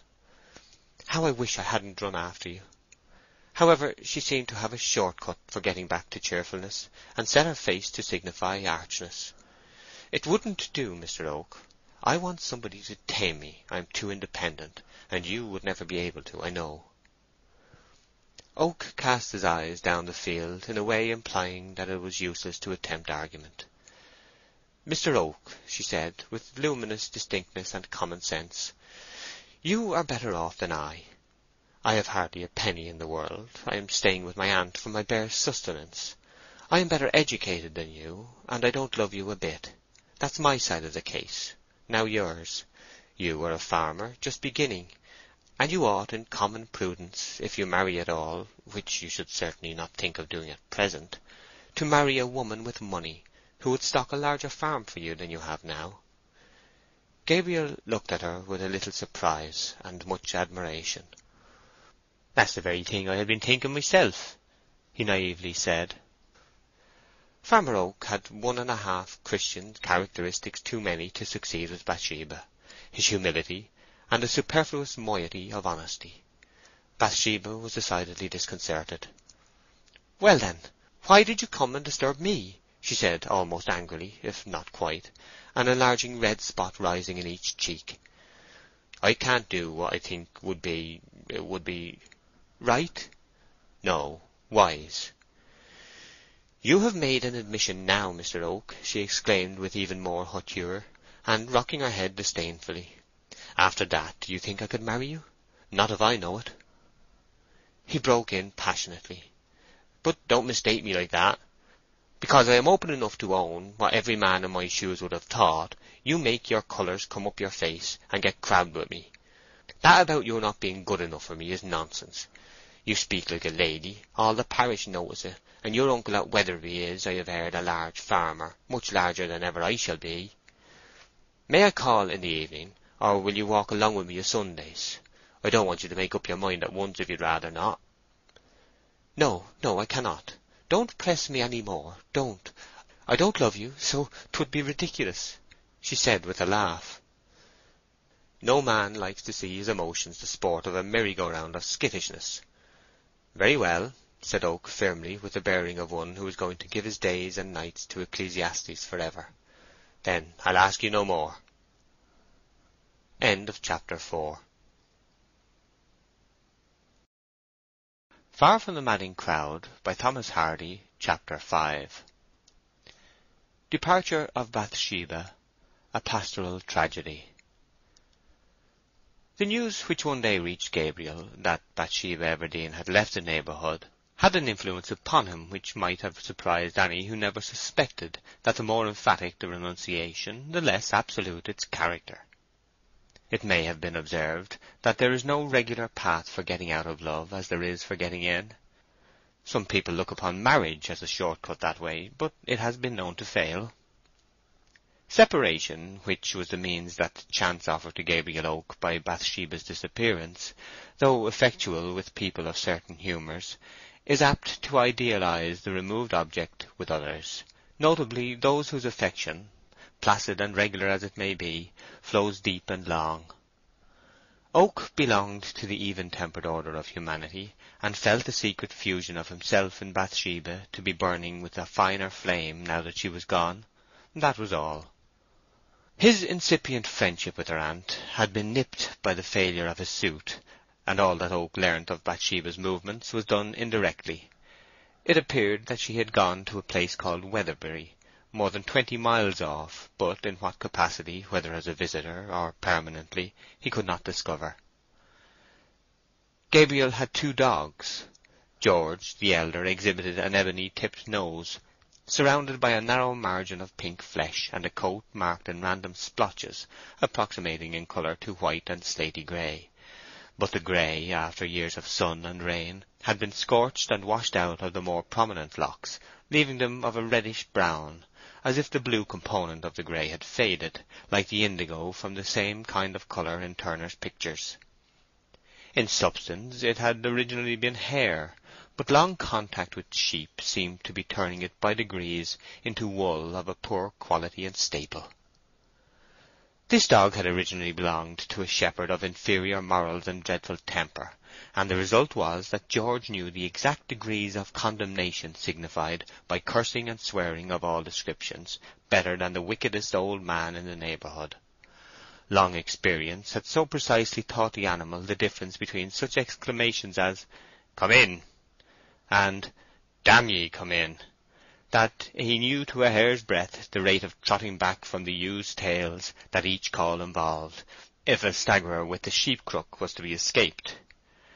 Though old, he was clever and trustworthy still. The young dog, George's son, might possibly have been the image of his mother, for there was not much resemblance between him and George. He was learning the sheep-keeping business, so as to follow on at the flock when the other should die, but had got no further than the rudiments as yet, still finding an insuperable difficulty in distinguishing between doing a thing well enough and doing it too well. So earnest and yet so wrong-headed was this young dog. He had no name in particular, and answered with perfect readiness to any pleasant interjection that if sent behind the flock to help them on, he did it so thoroughly that he would have chased them across the whole county with the greatest pleasure, if not called off or reminded when to stop by the example of old George. Thus much for the dogs. On the further side of Norcombe Hill was a chalk pit, from which chalk had been drawn for generations, and spread over adjacent farms. Two hedges converged upon it in the form of a V, but without quite meeting. The narrow opening left, which was immediately over the brow of the pit, was protected by a rough railing. One night when Farmer Oak had returned to his house, believing there would be no further necessity for his attendance on the down, he called as usual to the dogs, previously to shutting them up in the outhouse till next morning. Only one responded, old George; the other could not be found, either in the house, lane, or garden. Gabriel then remembered that he had left the two dogs on the hill eating a dead lamb, a kind of meat he usually kept from them, except when other food ran short, and concluding that the young one had not finished his meal, he went indoors to the luxury of a bed, which latterly he had only enjoyed on Sundays. It was a still, moist night. Just before dawn he was assisted in waking by the abnormal reverberation of familiar music. To the shepherd the note of the sheep bell, like the ticking of the clock to other people, is a chronic sound that only makes itself noticed by ceasing or altering in some unusual manner from the well-known idle twinkle which signifies to the accustomed ear, however distant, that all is well in the fold. In the solemn calm of the awakening morn that note was heard by Gabriel, beating with unusual violence and rapidity. This exceptional ringing may be caused in two ways, by the rapid feeding of the sheep bearing the bell, as when the flock breaks into new pasture, which gives it an intermittent rapidity, or by the sheep starting off in a run, when the sound has a regular palpitation. The experienced ear of Oak knew the sound he now heard to be caused by the running of the flock with great velocity. He jumped out of bed, dressed, tore down the lane through a foggy dawn, and ascended the hill. The forward ewes were kept apart from those among which the fall of lambs would be later, there being two hundred of the latter class in Gabriel's flock. These two hundred seemed to have absolutely vanished from the hill. There were the fifty with their lambs enclosed at the other end as he had left them, but the rest, forming the bulk of the flock, were nowhere. Gabriel called at the top of his voice the shepherd's call. "Ovey, ovey, ovey!" Not a single bleat. He went to the hedge. A gap had been broken through it, and in the gap were the footprints of the sheep. Rather surprised to find them break fence at this season, yet putting it down instantly to their great fondness for ivy in winter time, of which a great deal grew in the plantation, he followed through the hedge. They were not in the plantation. He called again. The valleys and farthest hills resounded as when the sailors invoked the lost Hylas on the Mysian shore, but no sheep. He passed through the trees and along the ridge of the hill. On the extreme summit, where the ends of the two converging hedges of which we have spoken were stopped short by meeting the brow of the chalk pit, he saw the younger dog standing against the sky, dark and motionless as Napoleon at St. Helena. A horrible conviction darted through Oak. With a sensation of bodily faintness he advanced. At one point the rails were broken through, and there he saw the footprints of his ewes. The dog came up, licked his hand, and made signs implying that he expected some great reward for signal services rendered. Oak looked over the precipice. The ewes lay dead and dying at its foot, a heap of two hundred mangled carcasses, representing in their condition just now at least two hundred more. Oak was an intensely humane man, Indeed, his humanity often tore in pieces any politic intentions of his which bordered on strategy, and carried him on as by gravitation. A shadow in his life had always been that his flock ended in mutton, that a day came and found every shepherd an arrant traitor to his defenceless sheep. His first feeling now was one of pity for the untimely fate of these gentle ewes and their unborn lambs. It was the second to remember another phase of the matter. The sheep were not insured. All the savings of a frugal life had been dispersed at a blow. His hopes of being an independent farmer were laid low, possibly for ever. Gabriel's energies, patience, and industry had been so severely taxed during the years of his life between eighteen and eight and twenty to reach his present stage of progress that no more seemed to be left in him. He leant down upon a rail and covered his face with his hands. Stupors, however, do not last for ever, and Farmer Oak recovered from his. It was as remarkable as it was characteristic that the one sentence he uttered was in thankfulness. "Thank God I am not married. What would she have done in the poverty now coming upon me?" Oak raised his head, and wondering what he could do, listlessly surveyed the scene. By the outer margin of the pit was an oval pond, and over it hung the attenuated skeleton of a chrome yellow moon, which had only a few days to last, the morning star dogging her on the left hand. The pool glittered like a dead man's eye, and as the world awoke a breeze blew, shaking and elongating the reflection of the moon without breaking it, and turning the image of the star to a phosphoric streak upon the water. All this Oak saw and remembered. As far as could be learnt it appeared that the poor young dog, still under the impression that since he was kept for running after sheep, the more he ran after them the better, had at the end of his meal of the dead lamb, which may have given him additional energy and spirits, collected all the ewes into a corner, driven the timid creatures through the hedge, across the upper field, and by main force of worrying had given them momentum enough to break down a portion of the rotten railing, and so hurl them over the edge. George's son had done his work so thoroughly that he was considered too good a workman to live, and was, in fact, taken and tragically shot at twelve o'clock that same day. Another instance of the untoward fate which so often attends dogs and other philosophers who follow out a train of reasoning to its logical conclusion, and attempt perfectly consistent conduct in a world made up so largely of compromise. Gabriel's farm had been stocked by a dealer, on the strength of Oak's promising look and character, who was receiving a percentage from the farmer till such time as the advance should be cleared off. Oak found that the value of stock, plant, and implements, which were really his own, would be about sufficient to pay his debts, leaving himself a free man, with the clothes he stood up in, and nothing more. End of chapter 5 Far from the Madding Crowd by Thomas Hardy, Chapter 6 The Fair, the Journey, the Fire. Two months passed away. We are brought on to a day in February on which is held the yearly statute or hiring fair in the county town of Casterbridge. At one end of the street stood from two to three hundred blithe and hearty labourers waiting upon chance, all men of the stamp to whom labour suggests nothing worse than a wrestle with gravitation, and pleasure nothing better than a renunciation of the same. Among these, carters and waggoners were distinguished by having a piece of whipcord twisted round their hats, Thatchers wore a fragment of woven straw. Shepherds held their sheep crooks in their hands, and thus the situation required was known to the hirers at a glance. In the crowd was an athletic young fellow of somewhat superior appearance to the rest. In fact, his superiority was marked enough to lead several ruddy peasants standing by to speak to him inquiringly, as to a farmer, and to use sir as a finishing word.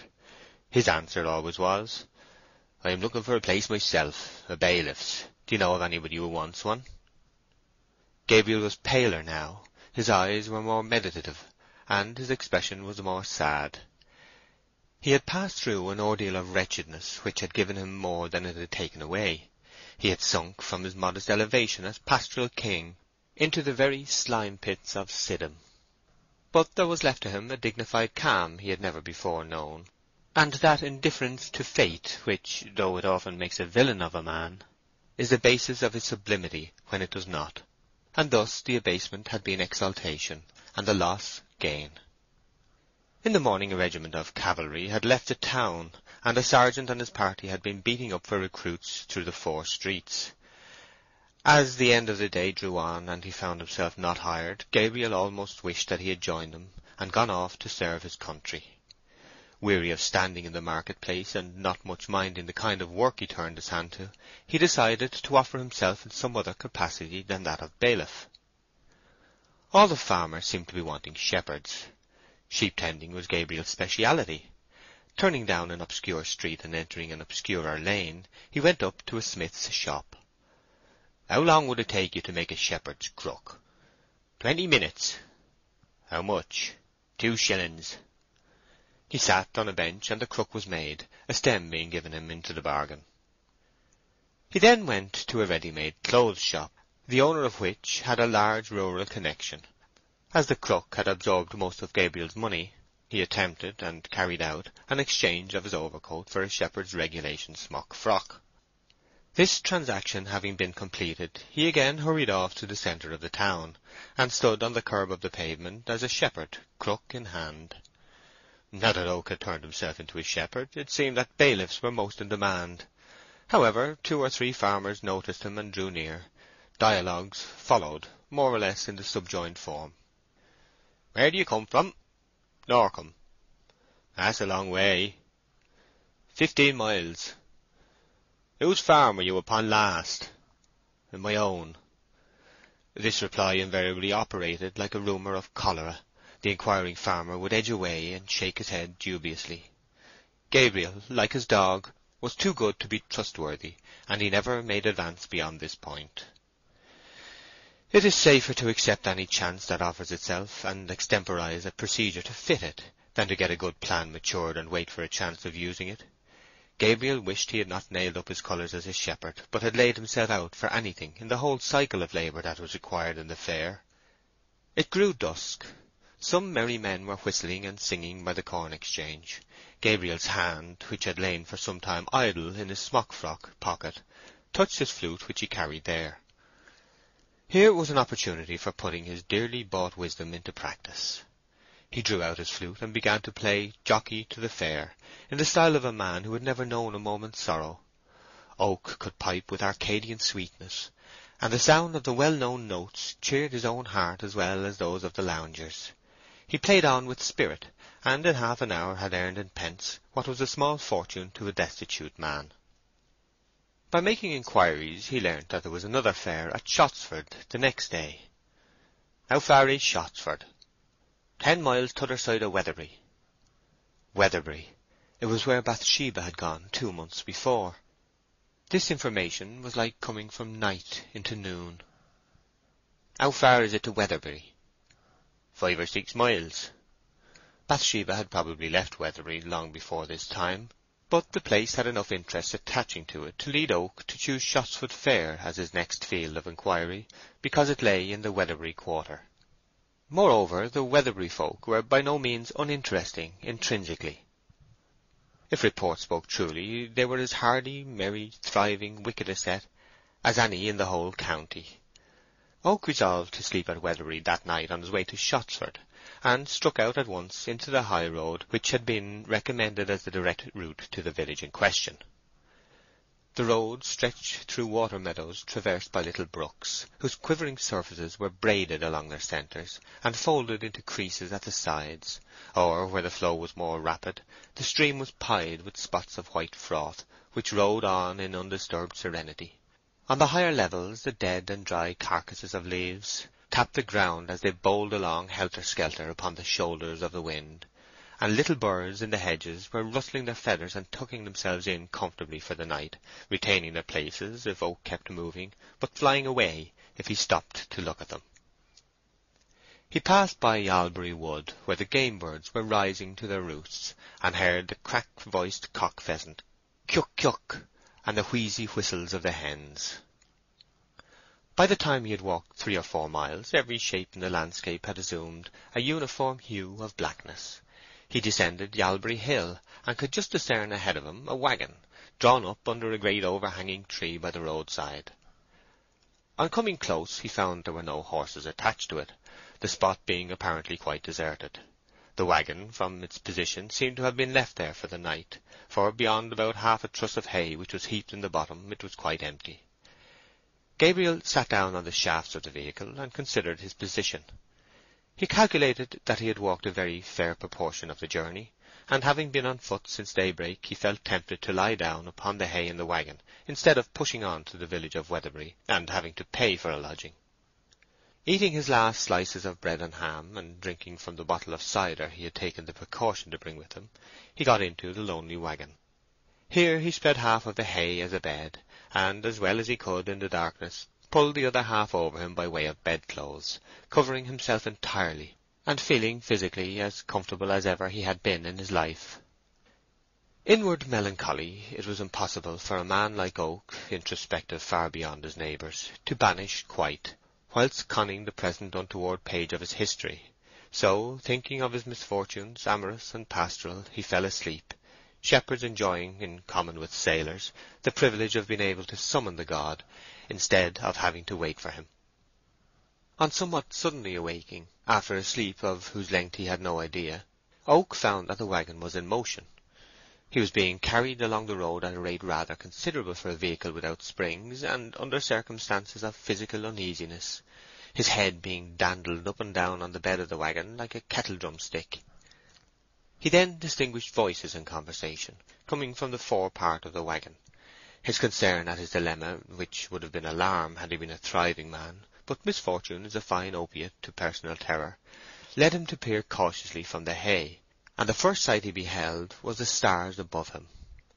Charles's wain was getting towards a right angle with the pole star, and Gabriel concluded that it must be about nine o'clock. In other words, that he had slept two hours. This small astronomical calculation was made without any positive effort, and whilst he was stealthily turning to discover, if possible, into whose hands he had fallen. Two figures were dimly visible in front, sitting with their legs outside the waggon, one of whom was driving. Gabriel soon found that this was the waggoner, and it appeared that they had come from Casterbridge fair like himself. A conversation was in progress, which continued thus. Be as twill, she's a fine handsome body as far as looks be concerned, but that's only the skin of the woman, and these dandy cattle be as proud as Lucifer in their insides. Ay, so it do seem, Bill Smallbury, so it do seem. This utterance was very shaky by nature, and more so by circumstance, the jolting of the waggon not being without its effect upon the speaker's larynx. It came from the man who held the reins. She's a very vain female, so 'tis said here and there. Ah, now, if so be 'tis like that, I can't look her in the face. Lord, no, not I, such a shy man as I be. Yes, she's very vain. 'Tis said that every night at going to bed she looks in the glass to put on her nightcap properly. And not a married woman, oh the world! And I can play the pianner, so 'tis said can play so clever that it can make a psalm tune sound as well as the merriest loose song a man can wish for. Do you tell it? A happy time for us, and I feel quite a new man. And how do she pay? Oh, that I don't know, Master Poorgrass. On hearing these and other similar remarks, a wild thought flashed into Gabriel's mind that they might be speaking of Bathsheba. There were, however, no grounds for retaining such a supposition, for the waggon, though going in the direction of Weatherbury, might be going beyond it, and the woman alluded to seemed to be the mistress of some estate. They were now apparently close upon Weatherbury, and not to alarm the speakers unnecessarily, Gabriel slipped out of the waggon unseen. He turned to an opening in the hedge, which he found to be a gate, and mounting thereon, he sat meditating whether to seek a cheap lodging in the village, or to ensure a cheaper one by lying under some hay or corn stack. The crunching jangle of the waggon died upon his ear. He was about to walk on, when he noticed on his left hand an unusual light, appearing about half a mile distant. Oak watched it, and the glow increased. Something was on fire. Gabriel again mounted the gate, and, leaping down on the other side upon what he found to be ploughed soil, made across the field in the exact direction of the fire. The blaze, enlarging in a double ratio by his approach and its own increase, showed him as he drew nearer the outline of ricks beside it, lighted up to great distinctness. A rickyard was the source of the fire. His weary face now began to be painted over with a rich orange glow, and the whole front of his smock frock and gaiters was covered with a dancing shadow pattern of thorn twigs, the light reaching him through a leafless intervening hedge, and the metallic curve of his sheep-crook shone silver bright in the same abounding rays. He came up to the boundary fence, and stood to regain breath. It seemed as if the spot was unoccupied by a living soul. The fire was issuing from a long straw stack, which was so far gone as to preclude a possibility of saving it. A rick burns differently from a house. As the wind blows the fire inwards, the portion in flames completely disappears like melting sugar, and the outline is lost to the eye. However, a hay or wheat rick, well put together, will resist combustion for a length of time, if it begins on the outside. This, before Gabriel's eyes, was a rick of straw, loosely put together, and the flames darted into it with lightning swiftness. It glowed on the windward side, rising and falling in intensity, like the coal of a cigar. Then a superincumbent bundle rolled down with a whisking noise. Flames elongated and bent themselves about with a quiet roar, but no crackle. Banks of smoke went off horizontally at the back like passing clouds, and behind these burned hidden pyres, illuminating the semi-transparent sheet of smoke to a lustrous yellow uniformity. Individual straws in the foreground were consumed in a creeping movement of ruddy heat, as if they were knots of red worms, and above shone imaginary fiery faces, tongues hanging from lips, glaring eyes, and other impish forms, from which at intervals sparks flew in clusters like birds from a nest. Oak suddenly ceased from being a mere spectator by discovering the case to be more serious than he had first imagined. A scroll of smoke blew aside and revealed to him a wheat rick in startling juxtaposition with a decaying one, and behind this a series of others composing the main corn produce of the farm, so that instead of the straw stack standing, as he had imagined, comparatively isolated, there was a regular connection between it and the remaining stacks of the group. Gabriel leapt over the hedge, and saw that he was not alone. The first man he came to was running about in a great hurry, as if his thoughts were several yards in advance of his body, which they could never drag on fast enough. "Oh, man! Fire! Fire! A good master and a bad servant is fire! Fire! I mean a bad servant and a good master! Oh, Mark Clark, come! And you, Billy Smallbury, and you, Mary Ann Money, and you, Jan Coggan, and Matthew there!" Other figures now appeared behind this shouting man and among the smoke, and Gabriel found that, far from being alone, he was in a great company, whose shadows danced merrily up and down, timed by the jigging of the flames, and not at all by their owners' movements. The assemblage, belonging to that class of society which casts its thoughts into the form of feeling, and its feelings into the form of commotion, set to work with a remarkable confusion of purpose. "Stop the draughts under the wheat rick!" cried Gabriel to those nearest to him. The corn stood on stone straddles, and between these tongues of yellow hue from the burning straw licked and darted playfully. If the fire once got under this stack all would be lost. "Get a tarpaulin, quick!" said Gabriel. A rick cloth was brought, and they hung it like a curtain across the channel. The flames immediately ceased to go under the bottom of the corn stack, and stood up vertical. "Stand here with a bucket of water, and keep the cloth wet," said Gabriel again. The flames, now driven upward, began to attack the angles of the huge roof covering the wheat stack. "A ladder!" cried Gabriel. "The ladder was against the straw rick, and is burnt to a cinder," said a spectre-like form in the smoke. Oak seized the cut ends of the sheaves as if he were going to engage in the operation of reed drawing, and, digging in his feet and occasionally sticking in the stem of his sheep crook, he clambered up the beetling face. He at once sat astride the very apex, and began with his crook to beat off the fiery fragments which had lodged thereon, shouting to the others to get him a bough and a ladder, and some water. Billy Smallbury, one of the men who had been on the waggon, by this time had found a ladder, which Mark Clark ascended, holding on beside Oak upon the thatch. The smoke at this corner was stifling, and Clark, a nimble fellow, having been handed a bucket of water, bathed Oak's face and sprinkled him generally, whilst Gabriel, now with a long beech bough in one hand, in addition to his crook in the other, kept sweeping the stack and dislodging all fiery particles. On the ground the groups of villagers were still occupied in doing all they could to keep down the conflagration, which was not much. They were all tinged orange and backed up by shadows of varying pattern. Round the corner of the largest stack, out of the direct rays of the fire, stood a pony bearing a young woman on its back. By her side was another woman on foot. These two seemed to keep at a distance from the fire, that the horse might not become restive. "He's a shepherd," said the woman on foot. "Yes, he is. See how his crook shines as he beats the rick with it. And his smock frock is burnt in two holes, I declare. A fine young shepherd he is too, ma'am." "Whose shepherd is he?" said the equestrian in a clear voice. "I don't know, ma'am. "Don't any of the others know?" "Nobody at all. I've asked them.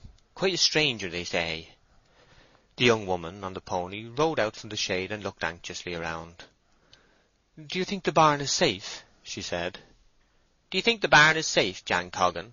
said the second woman, passing on the question to the nearest man in that direction. "Safe now. Leastwise I think so. If this rick had gone the barn would have followed. 'Tis that bold shepherd up there that have done the most good. He's sitting on top of that rick, whizzing his great long arms about like a windmill." "He does work hard," said the young woman on horseback, looking up at Gabriel through her thick woollen veil. "I wish he was shepherd here. Don't any of you know his name?" "Never heard a man's name in my life, or seed his form afore." The fire began to get worsted, and Gabriel's elevated position being no longer required of him, he made as if to descend. "Maryann," said the girl on horseback, "go to him as he comes down, and say that the farmer wishes to thank him for the great service he has done." Maryann stalked off towards the rick, and met Oak at the foot of the ladder. She delivered her message. "Where, where is your master, the farmer?" said Gabriel, kindling with the idea of getting employment that seemed to strike him now. "'Tisn't a master, 'tis a mistress shepherd." "A woman farmer?" "Ah, I believe, and a rich one too," said a bystander. Lately, "Lately 'a came here from a distance. Took on her uncle's farm, who died suddenly, and used to measure his money in half pint cups. They say now that she's business in every bank in Casterbridge, and thinks no more of playing pitch and toss sovereign than you and I do pitch halfpenny. Not a bit in the world, shepherd." "That's she, back up there on the pony," said Maryann, "with her face a covered up in that black cloth with holes in it." Oh, Oak, his features smudged, grimy, and undiscoverable from the smoke and heat, his smock frock burnt into holes and dripping with water, the ash stem of his sheep crook charred six inches shorter, advanced with the humility stern adversity had thrust upon him up to the slight female form in the saddle. He lifted his hat with respect, and not without gallantry. Stepping close to her hanging feet, he said in a hesitating voice, "Do you happen to want a shepherd, ma'am?" She lifted the wool veil tied round her face, and looked all astonishment. Gabriel and his cold-hearted darling Bathsheba Everdene were face to face. Bathsheba did not speak, and he mechanically repeated in an abashed and sad voice, "Do you want a shepherd, ma'am?" End of chapter six. Far from the Madding Crowd by Thomas Hardy, Chapter 7 Recognition A Timid Girl Bathsheba withdrew into the shade. She scarcely knew whether most to be amused at the singularity of the meeting, or to be concerned at its awkwardness. There was room for a little pity, also for a very little exultation, the former at his position, and the latter at her own. Embarrassed she was not and she remembered Gabriel's declaration of love to her at Norcombe, only to think she had nearly forgotten it. "Yes," she murmured, putting on an air of dignity, and turning again to him with a little warmth of cheek, "I do want a shepherd, but—" "He's the very man, ma'am," said one of the villagers quietly. Conviction breeds conviction. "Ah, that 'a is," said a second decisively. "The man truly," said a third with heartiness. "He's all there," said number four, fervidly. "Then will you tell him to speak to the bailiff?" said Bathsheba. All was practical again now. A summer eve and loneliness would have been necessary to give the meeting its proper fulness of romance. The bailiff was pointed out to Gabriel, who, checking the palpitation within his breast at discovering that this Ashtoreth of strange report was only a modification of Venus, the well known and admired, retired with him to talk over the necessary preliminaries of hiring. The fire before them wasted away. "Men," said Bathsheba, "you shall take a little refreshment after this extra work. Will you come to the house?" "We could knock in a bit and a drop a good deal freer, miss, if so be you'd send it to Warren's Malt House," replied the spokesman. Bathsheba then rode off into the darkness, and the men straggled on to the village in twos and threes, Oak and the bailiff being left by the rick alone. "And now," said the bailiff finally, "all is settled, I think, about your coming, and I'm going home along. Good night to ye, shepherd." "Can you get me a lodging?" inquired Gabriel. "That I can't indeed," he said, moving past Oak as a Christian edges past an offertory plate when he does not mean to contribute. If you follow on the road till you come to Warren's Malt House, where they are all gone to have their snap of victuals, I dare say some of 'em will tell you of a place. Good night ye, shepherd." The bailiff, who showed this nervous dread of loving his neighbour as himself, went up the hill, and Oak walked on to the village, still astonished at the rencounter with Bathsheba, glad of his nearness to her, and perplexed at the rapidity with which the unpractised girl of Norcombe had developed into the supervising and cool woman here. But some women only require an emergency to make them fit for one. Obliged to some extent to forego dreaming in order to find the way, he reached the churchyard, and passed round it under the wall, where several ancient trees grew. There was a wide margin of grass along here, and Gabriel's footsteps were deadened by its softness, even at this indurating period of the year.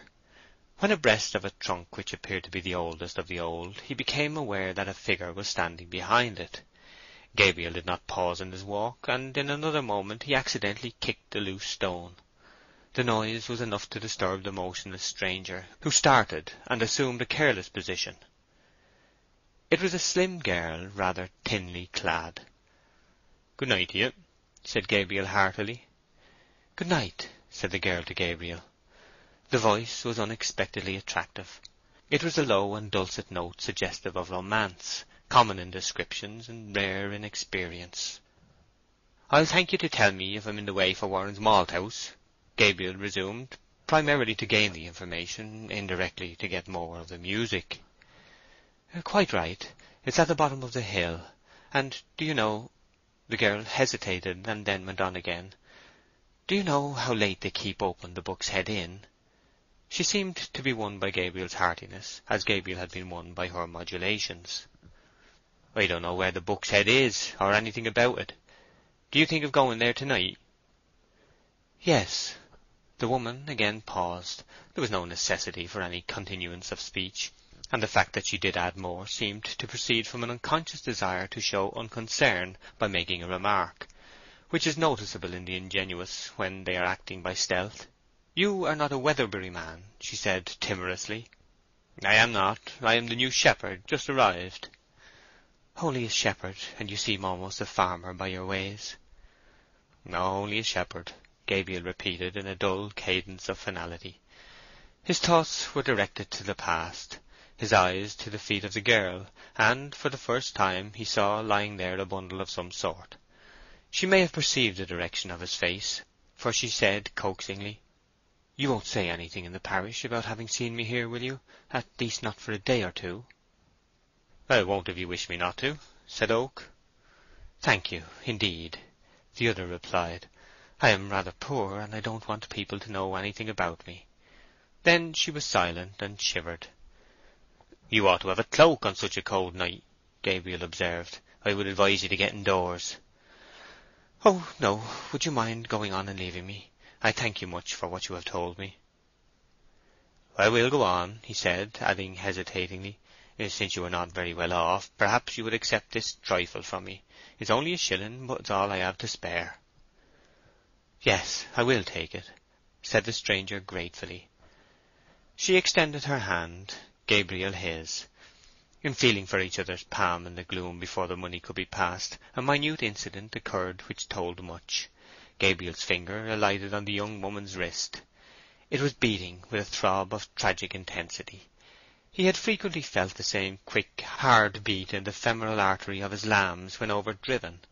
It suggested a consumption too great of a vitality which, to judge from her figure and stature, was already too little. "What is the matter?" "Nothing." "Ah, but there is." "No, no, no. Let your having seen me be a secret." "Very well, I will. Good night again." "Good night." The young girl remained motionless by the tree, and Gabriel descended into the village of Weatherbury, or Lower Longpuddle, as it was sometimes called. He fancied that he had felt himself in the penumbra of a very deep sadness when touching that slight and fragile creature but wisdom lies in moderating mere impressions, and Gabriel endeavoured to think little of this. End of chapter 7 Far from the Madding Crowd by Thomas Hardy, Chapter 8 The Malthouse, The Chat, News Warren's Malthouse was enclosed by an old wall enwrapped with ivy, and though not much of the exterior was visible at this hour, the character and purposes of the building were clearly enough shown by its outline upon the sky. From the walls an overhanging thatched roof sloped up to a point in the centre, upon which rose a small wooden lantern, fitted with louver boards on all the four sides, and from these openings a mist was dimly perceived to be escaping into the night air. There was no window in front, but a square hole in the door was glazed with a single pane, through which red comfortable rays now stretched out upon the ivied wall in front. Voices were to be heard inside. Oak's hand skimmed the surface of the door with fingers extended to an Elymas the Sorcerer pattern till he found a leathern strap which he pulled. This lifted the wooden latch and the door swung open. The room inside was lighted only by the ruddy glow from the kiln mouth which shone over the floor with the streaming horizontality of the setting sun, and threw upwards the shadows of all facial irregularities in those assembled around. The stone flagged floor was worn into a path from the doorway to the kiln, and into undulations everywhere. A curved settle of unplaned oak stretched along one side, and in a remote corner was a small bed and bedstead, the owner and frequent occupier of which was the maltster. This aged man was now sitting opposite the fire, his frosty white hair and beard overgrowing his gnarled figure like the grey moss and lichen upon a leafless apple tree. He wore breeches and the laced-up shoes called ankle-jacks. He kept his eyes fixed upon the fire. Gabriel's nose was greeted by an atmosphere laden with the sweet smell of new malt. The conversation, which seemed to have been concerning the origin of the fire, immediately ceased, and every one ocularly criticized him to the degree expressed by contracting the flesh of their foreheads and looking at him with narrowed eyelids, as if he had been a light too strong for their sight. Several exclaimed meditatively, after this operation had been completed, "Ah, 'tis a new shepherd, I believe."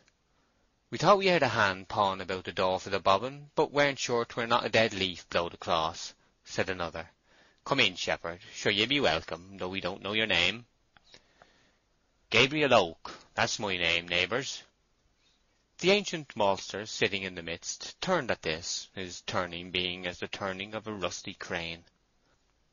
"That's never Gable Oak's grandson over at Norcombe, never," he said, as a formula expressive of surprise, which nobody was supposed for a moment to take literally. "My father and my grandfather were old men of the name of Gabriel," said the shepherd placidly. "Thought I knowed the man's face as I seed him on the rick. Thought I did. And where be you trading off to now, shepherd?" "I'm thinking of biding here," said Mr. Oak. "Knowed your grandfather for years and years continued the maltster, the words coming forth of their own accord, as if the momentum previously imparted had been sufficient. "Ah, and, and did you?" "Knowed your grandmother." "And her too?" "Likewise knowed your father when he was a child. Why, my boy Jacob there and your father were sworn brothers, that they were, sure. Weren't ye, Jacob?" "Ah, sure," said his son, a young man about sixty-five, with a semi-bald head and one tooth in the left centre of his upper jaw, which made much of itself by standing prominent, like a milestone in a bank. "But 'twas Joe had most to do with him. However, my son William must have knowed the very man afore us, didn't ye, Billy, afore ye left Norcombe?" "No, 'twas Andrew," said Jacob's son, Billy, a child of forty or thereabouts who manifested the peculiarity of possessing a cheerful soul in a gloomy body, and whose whiskers were assuming a chinchilla shade here and there. "I can mind Andrew," said Oak, "as being a man in the place when I was quite a child." "Ah, and the other day I and my youngest daughter Liddy were over at my grandson's christening," continued Billy. "We were talking about this very family, and 'twas only last purification day in this very world when the use money is gied away to the second best poor folk, you know, shepherd. And I can mind the day, because they all had to traipse up to the vestry. Yeah, this very man's family. Come, shepherd, and drink. 'Tis gape and swallow with us. A drop of summat, but not of much account, said the maltster, removing from the fire his eyes, which were vermilion red and bleared by gazing into it for so many years. Take up the God forgive me, Jacob, and see if 'tis warm, Jacob. Jacob stooped to the God forgive me, which was a two-handled tall mug standing in the ashes, cracked and charred with heat.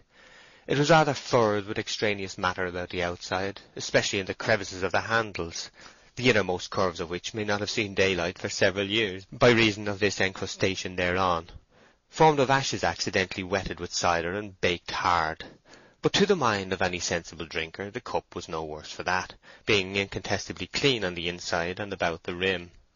It may be observed that such a class of mug is called a God forgive me in Weatherbury and its vicinity for uncertain reasons, uh, probably because its size makes any given toper feel ashamed of himself when he sees its bottom in drinking it empty. Jacob, on receiving the order to see if the liquor was warm enough, placidly dipped his forefinger into it by way of thermometer, and having pronounced it nearly of the proper degree, raised the cup and very civilly attempted to dust some of the ashes from the bottom with the skirt of his smock frock, because Shepherd Oak was a stranger. "A clane cup for the shepherd," said the maltster commandingly. "No, not at all," said Gabriel in a reproving tone of considerateness. "I never fuss about dirt in its pure state, and when I know what sort it is." Taking the mug, he drank an inch or more from the depths of its contents, and duly passed it to the next man. "Ah, I wouldn't think of giving such trouble to neighbours and washing up when there's so much work to be done in the world already," continued Oak in a moister tone, after recovering from the stoppage of breath which is occasioned by pulls at large mugs. "A right sensible man," said Jacob. "True, true, it can't be gainsaid," observed a brisk young man, Mark Clark by name, a genial and pleasant gentleman, whom to meet anywhere in your travels was to know, to know was to drink with, and to drink with was, unfortunately, to pay for. "And here's a mouthful of bread and bacon that missus have sent, shepherd. The cider'll go down better with a bit of victuals. Don't ye chalk quite close, shepherd, for I let the bacon fall in the road outside as I was bringing it along, and it may be 'tis rather gritty. There, 'tis clane dirt, and we all know what that is, as you say, and you bain't a particular man we see, shepherd." "True, true, not at all," said the friendly Oak. "Don't let your teeth quite meet, and you won't feel the sandiness at all. Ah, 'tis wonderful what can be done by contrivance." "My own mind exactly, neighbour." "Ah, he's his grandfer's own grandson. His grandfer were just such a nice unparticular man," said the maltster. "Drink, Henery Fray, drink!" magnanimously said Jan Coggan, a person who held Saint Simonian notions of share and share alike where liquor was concerned, as the vessel showed signs of approaching him in its gradual revolution among them. Having at this moment reached the end of a wistful gaze into mid-air, Henery did not refuse. He was a man of more than middle age, with eyebrows high up in his forehead, who laid it down that the law of the world was bad, with a long-suffering look through his listeners at the world alluded to, as it presented itself to his imagination. He always signed his name Henery, strenuously insisting upon that spelling, and if any passing schoolmaster ventured to remark that the second E was superfluous and old-fashioned, he received the reply that H-E-N-E-R-Y was the name he was christened, and the name he would stick to, in the tone of one to whom orthographical differences were matters which had a great deal to do with personal character. Mr. Jan Coggan, who had passed the cup to Henery, was a crimson man with a spacious countenance and private glimmer in his eye, whose name had appeared on the marriage register of Weatherbury and the neighbouring parishes as best man and chief witness in countless unions of the previous twenty years. He also very frequently filled the post of head godfather in baptisms of the subtly jovial kind. "Come, Mark Clark, come, there's plenty more in the barrel," said Jan. "Ah, that I will. 'Tis my only doctor replied Mr. Clark, who, twenty years younger than Jan Coggan, revolved in the same orbit. He secreted mirth on all occasions for special discharge at popular parties. "Why, Joseph Poorgrass, ye hadn't had a drop!" said Mr. Coggan to a self-conscious man in the background, thrusting the cup towards him. "Such a modest man as he is!" said Jacob Smallbury. "Why, you've hardly had strength of eye enough to look in our young missus's face, so I hear, Joseph." All looked at Joseph Poorgrass with pitying reproach. "No, I've hardly looked at her at all," simpered Joseph, reducing his body smaller whilst talking, apparently from a meek sense of undue prominence. "And when I seed her, 'twas nothing but blushes with me." "Poor feller!" said Mr. Clark. "'Tis a curious nature for a man," said Jan Coggan. "Yes," continued Joseph Poorgrass, his shyness, which was so painful as a defect, filling him with a mild complacency, now that it was regarded as an interesting study. "'Twere blush, blush, blush with me every minute of the time when she was speaking to me." "I believe you, Joseph Poorgrass, for we all know you to be a very bashful man." "'Tis a awkward gift for a man, poor soul," said the maltster. "And how long have you suffered from it, Joseph?" "Oh, ever since I was a boy. Yes, mother was concerned to her heart about it, yes, but 'twas all naught. "Did you ever go into the world and try to stop it, Joseph Poorgrass?"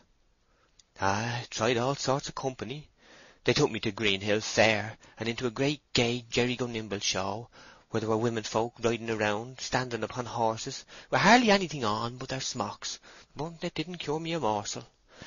And then I was put errand man at the woman's skittle alley at the back of the Tailor's Arms in Casterbridge. 'Twas a horrible sinful situation, and a very curious place for a good man. I had to stand and look bawdy people in the face from morning till night. But 'twas no use, I was just as bad as ever after all. Blushes have been in the family for generations.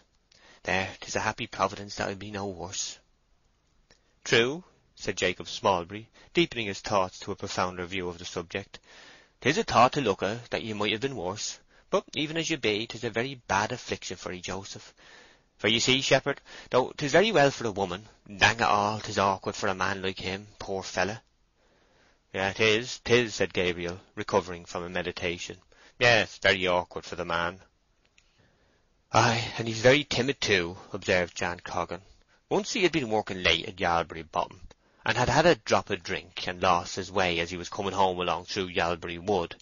Didn't he, Master Poorgrass? No, no, no, not that story, expostulated the modest man, forcing a laugh to bury his concern. And so a lost himself quite, continued Mr. Coggan with an impassive face, implying that a true narrative, like time and tide, must run its course, and would respect no man and as he was coming along in the middle of the night, much afeard and not able to find his way out of the trees nohow, it cried out, Man a-lost! Man a-lost! A owl in a tree happened to be crying, Hoo, hoo, hoo, as owls do, you know, shepherd. Gabriel nodded. And Joseph, all in a tremble, said, Joseph Poorgrass of Weatherbury, sir. No, no, now that's too much, said the timid man, becoming a man of brazen courage all of a sudden. I didn't say, sir. I'll take my oath I didn't say, Joseph Poorgrass of Weatherbury, sir. No, no. What's right is right, and I never said sir to the bird, knowing very well that no man of a gentleman's rank would be hollering there at that time of night. Joseph Poorgrass of Weatherbury. That's every word I said, and I shouldn't have said that if it hadn't been for Keeper Day's metheglin. There, 'twas a merciful thing it ended where it did the question of which was right being tacitly waived by the company, Jan went on meditatively. And he's a fearfulest man, bain't ye, Joseph? Ah, another time you were lost by Lambing Down Gate, weren't you, Joseph? I was, replied Poorgrass, as if there were some conditions too serious even for modesty to remember itself under, this being one. Yes, that were in the middle of the night too. The gate would not open, try how he would, and knowing there was the devil's hand in it, he kneeled down. Ah, said Joseph, acquiring confidence from the warmth of the fire, the cider, and a perception of the narrative capabilities of the experience alluded to. My heart died within me that time, but I kneeled down and said the Lord's Prayer, and then the belief right through, and then the Ten Commandments in earnest prayer. But no, the gate wouldn't open, and then went on with dearly beloved brethren, and thinks I, this makes four, and 'tis all I know out of the book, and if this don't do it, nothing will, and I'm a lost man. Well, when I got to saying after me, I rose from my knees and found that the gate would open. Yes, neighbours, the gate opened the same as ever.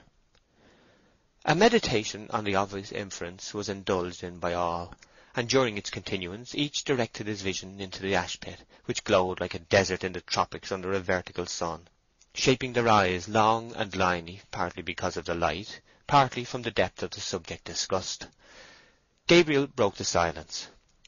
"What sort of place is this to live at, Uh, and what sort of missus is she to work under?" Gabriel's bosom thrilled gently as he thus slipped under the notice of the assembly the innermost subject of his heart. "We know little of her, nothing. She only showed herself a few days ago. Her uncle was took bad, and the doctor was called with his world-wide skill, but he couldn't save the man.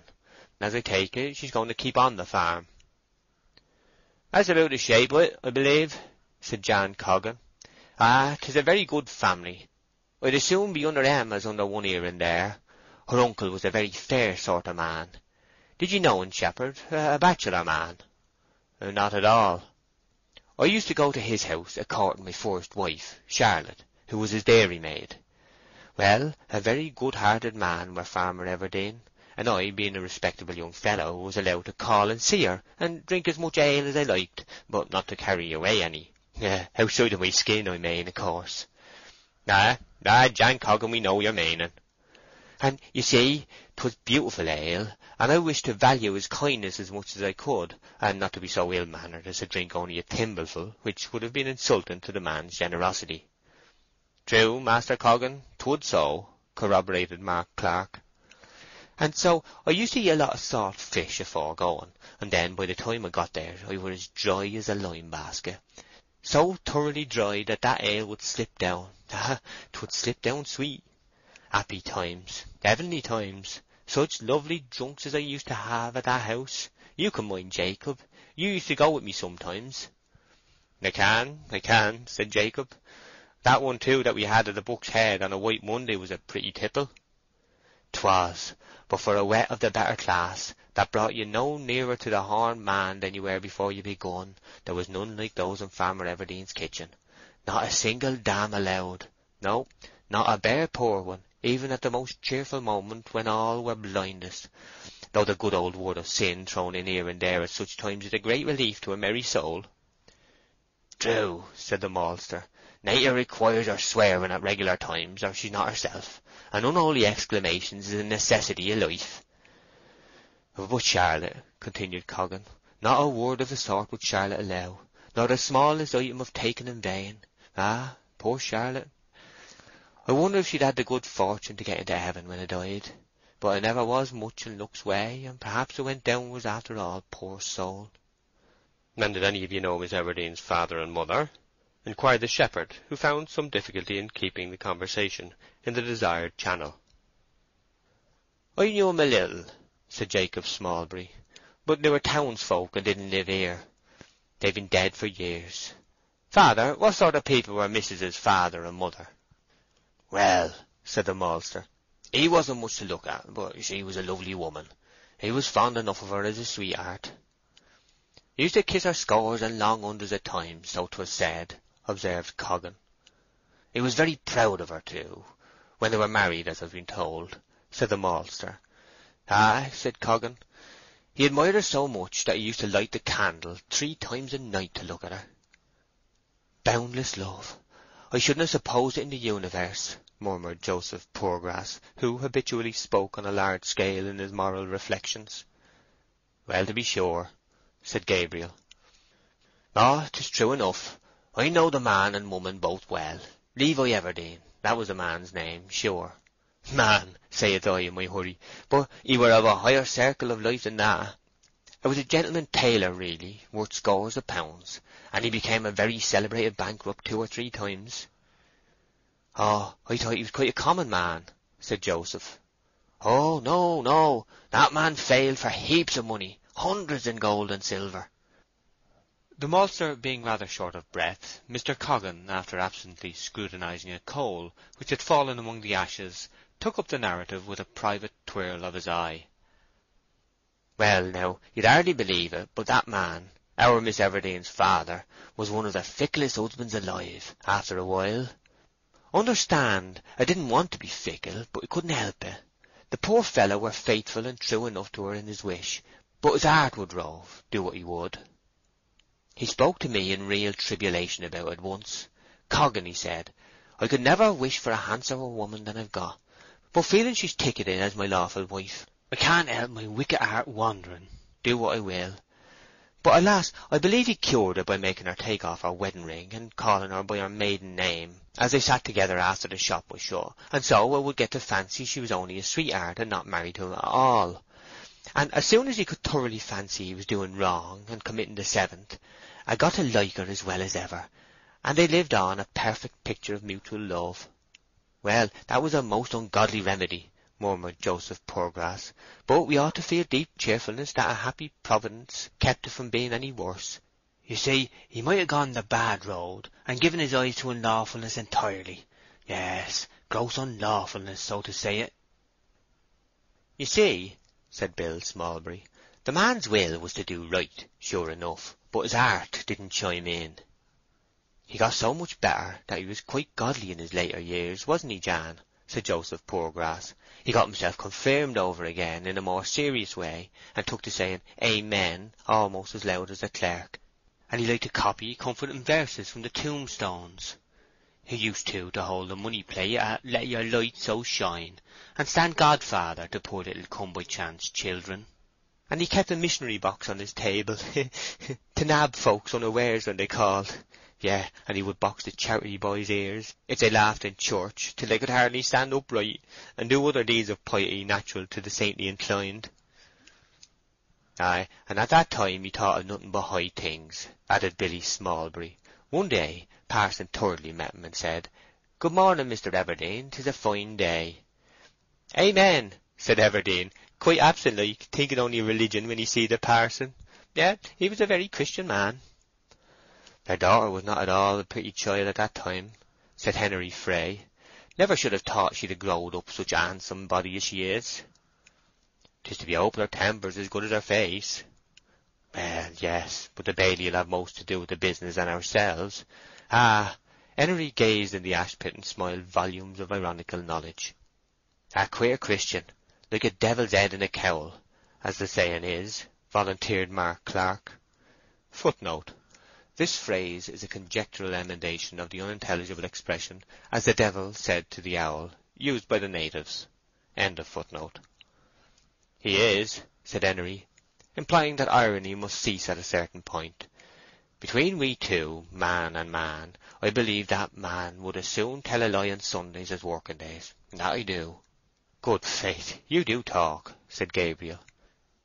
True enough, said the man of bitter moods, looking round upon the company with the antithetic laughter that comes from a keener appreciation of the miseries of life than ordinary men are capable of. Ha! There's people of one sort and people of another, but that man, bless your souls. Gabriel thought fit to change the subject. You must be a very aged man, Malter, to have sons growed mild and ancient, he remarked. Father's so old that I can't mind his age, can he, father? Interposed Jacob. And he's growed terrible crooked too lately. Jacob continued, surveying his father's figure, which was rather more bowed than his own.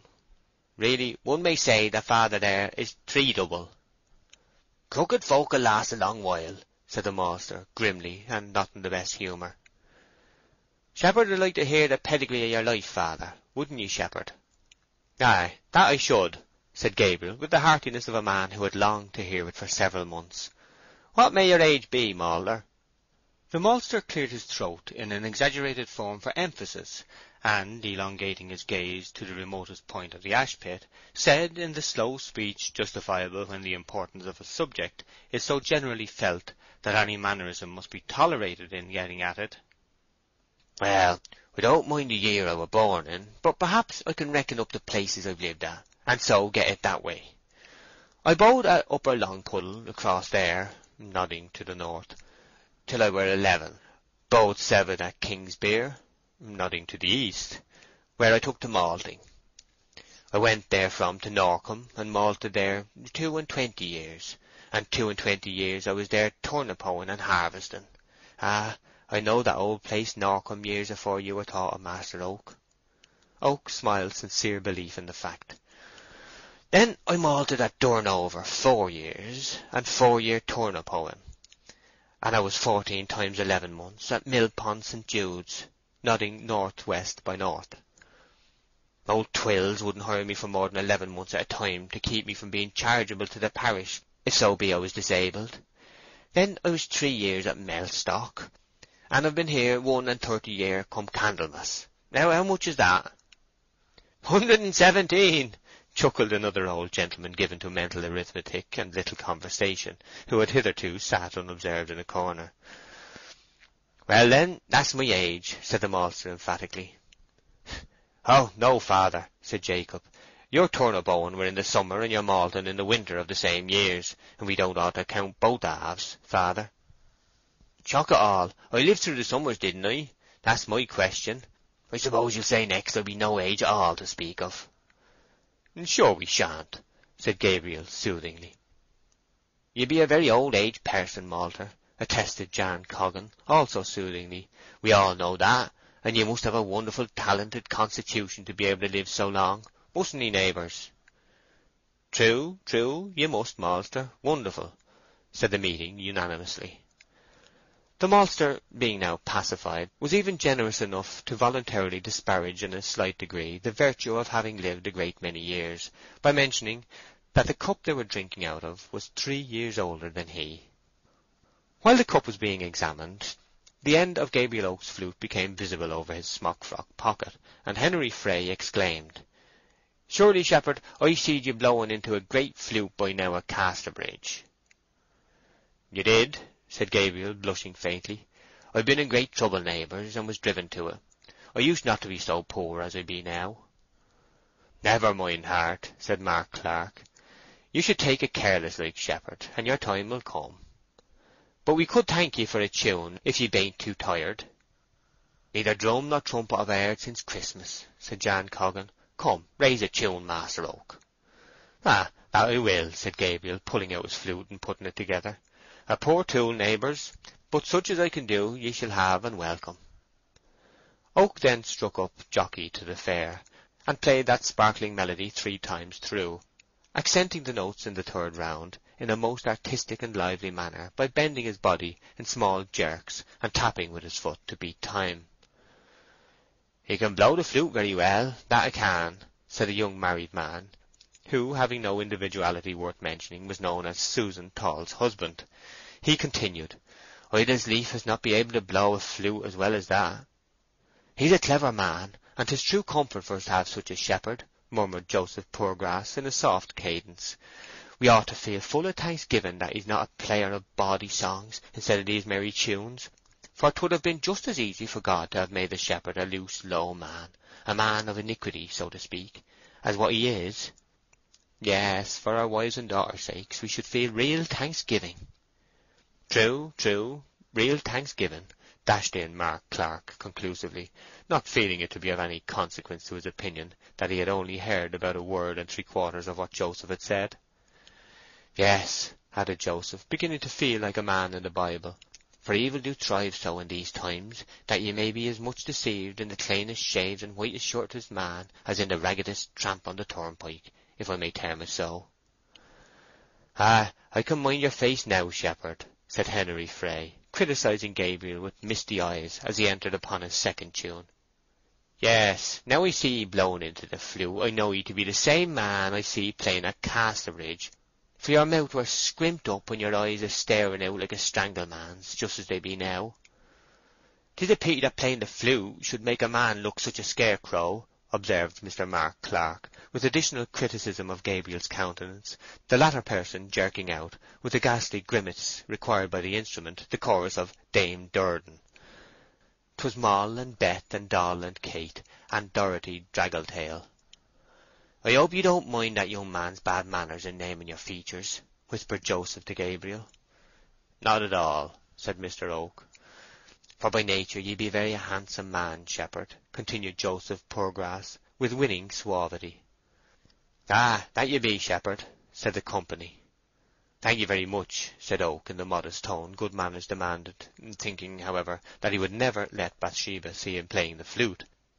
In this resolve showing a discretion equal to that related to its sagacious inventress, the divine Minerva herself. "Ah, when I and my wife were married at Norcombe Church," said the old maltster, not pleased at finding himself left out of the subject, "we were called the handsomest couple in the neighbourhood. Everybody said so." "Danged if you bain't older now, malter," said a voice with the vigour natural to the enunciation of a remarkably evident truism. It came from the old man in the background, whose offensiveness and spiteful ways were barely atoned for by the occasional chuckle he contributed to general laughs. "Oh, no, no," said Gabriel. "Don't you play no more shepherd," said Susan Tall's husband, the young married man who had spoken once before. "I must be moving, and when there's tunes going on I seem as if hung on wires. If I thought after I'd left that music was still playing, and I not there, I should be quite melancholy like." "What's your hurry then, Laban?" inquired Coggan. "You used to bide as late as the latest." "Well, you see, neighbours, I was lately married to a woman and she's my vocation now, and so you see—" The young man halted lamely. "New lords, new laws, as the saying is, I suppose," remarked Coggan.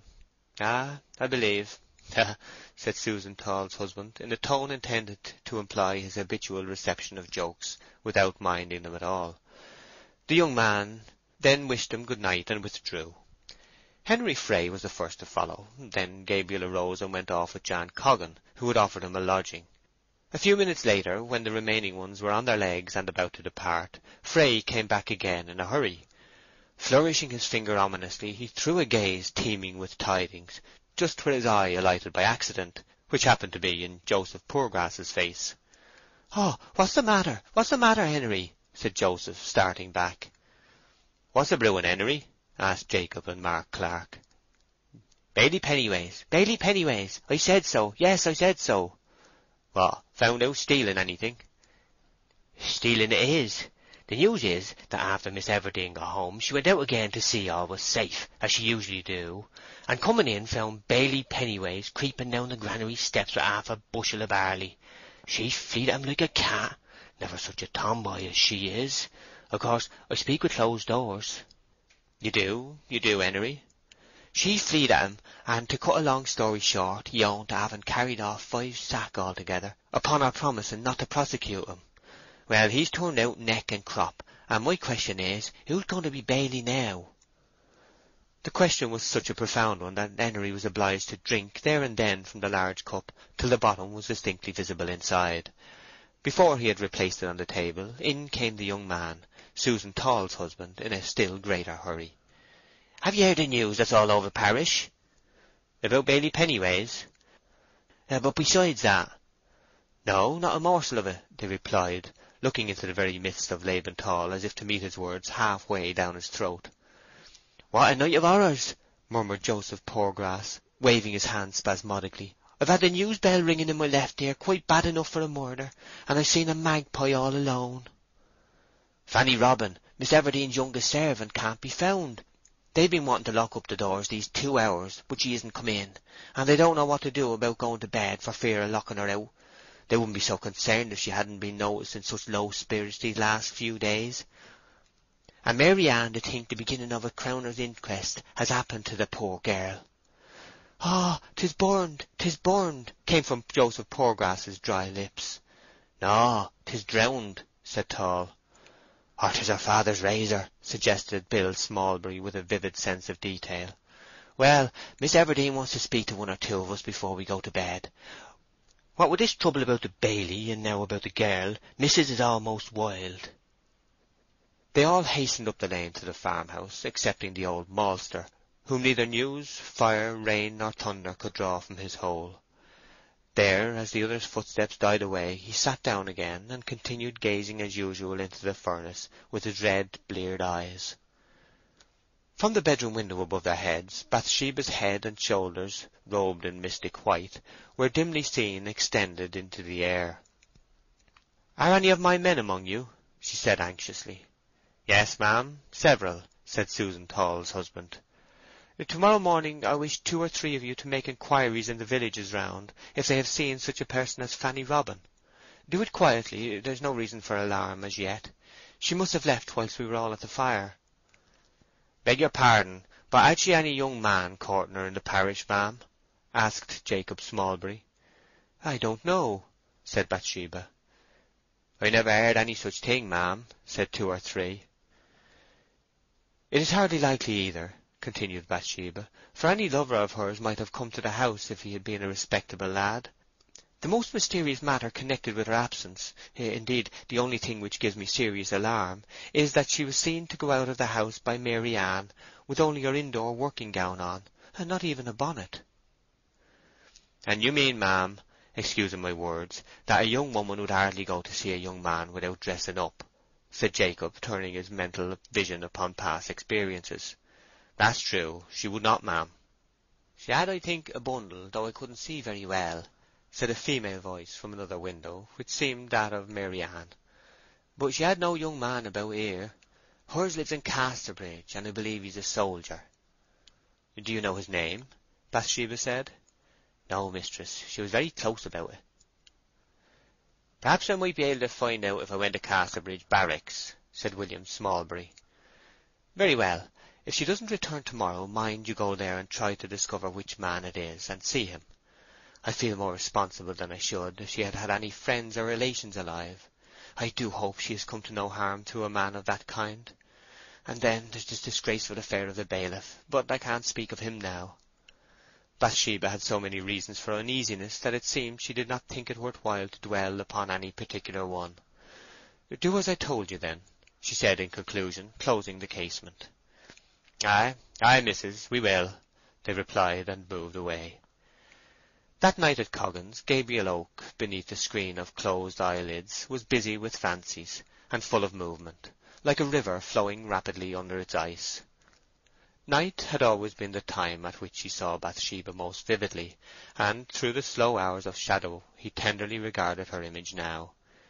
It is rarely that the pleasures of the imagination will compensate for their pain of sleeplessness, but they possibly did with Oak to-night, for the delight of merely seeing her effaced for the time his perception of the great difference between seeing and possessing. He also thought of plans for fetching his few utensils and books from Norcombe, the young man's best companion, the farrier's sure guide, the veterinary surgeon, Paradise Lost, the Pilgrim's Progress, Robinson Crusoe, Ash's Dictionary, and Walkingame's Arithmetic, constituted his library, and though a limited series, it was one from which he had acquired more sound information by diligent perusal than many a man of opportunity has done from a furlong of laden shelves. End of chapter 8 Far from the Madding Crowd by Thomas Hardy, Chapter 9 The Homestead, A Visitor, Half Confidences By daylight the bower of Oak's new-found mistress, Bathsheba Everdene, presented itself as a hoary building of the early stage of classic Renaissance as regards its architecture, and of a proportion which told at a glance that, as is so frequently the case, it had once been the memorial hall upon a small estate around it, now altogether effaced as a distinct property, and merged in the vast tract of a non-resident landlord, which comprised several such modest domains. Fluted pilasters, worked from the solid stone, decorated its front, and above the roof the chimneys were panelled or columnar, some coped gables with finials and like features still retaining traces of their Gothic extraction. Soft brown mosses, like faded velveteen, formed cushions upon the stone tiling, and tufts of the houseleek or sengreen sprouted from the eaves of the low surrounding buildings. A gravel walk, leading from the door to the road in front, was encrusted at the sides with more moss. Here it was a silver green variety, the nut brown of the gravel being visible to a width of only a foot or two in the centre. This circumstance, and the generally sleepy air of the whole prospect here, together with the animated and contrasting state of the reverse facade, suggested to the imagination that on the adaptation of the building for farming purposes the vital principle of the house had turned round inside its body to face the other way. Reversals of this kind, strange deformities, tremendous paralyses, are often seen to be inflicted by trade upon edifices, either individual or in the aggregate as streets and towns, which were originally planned for pleasure alone. Lively voices were heard this morning in the upper rooms, the main staircase to which was of hard oak, the balusters, heavy as bedposts, being turned and moulded in the quaint fashion of their century, the handrail as stout as a parapet top, and the stairs themselves continually twisting round like a person trying to look over his shoulder. Going up, the floors above were found to have a very irregular surface, rising to ridges, sinking into valleys, and being just then uncarpeted, the face of the boards was seen to be eaten into innumerable vermiculations. Every window replied by a clang to the opening and shutting of every door. A tremble followed every bustling movement, and a creak accompanied a walker about the house like a spirit wherever he went.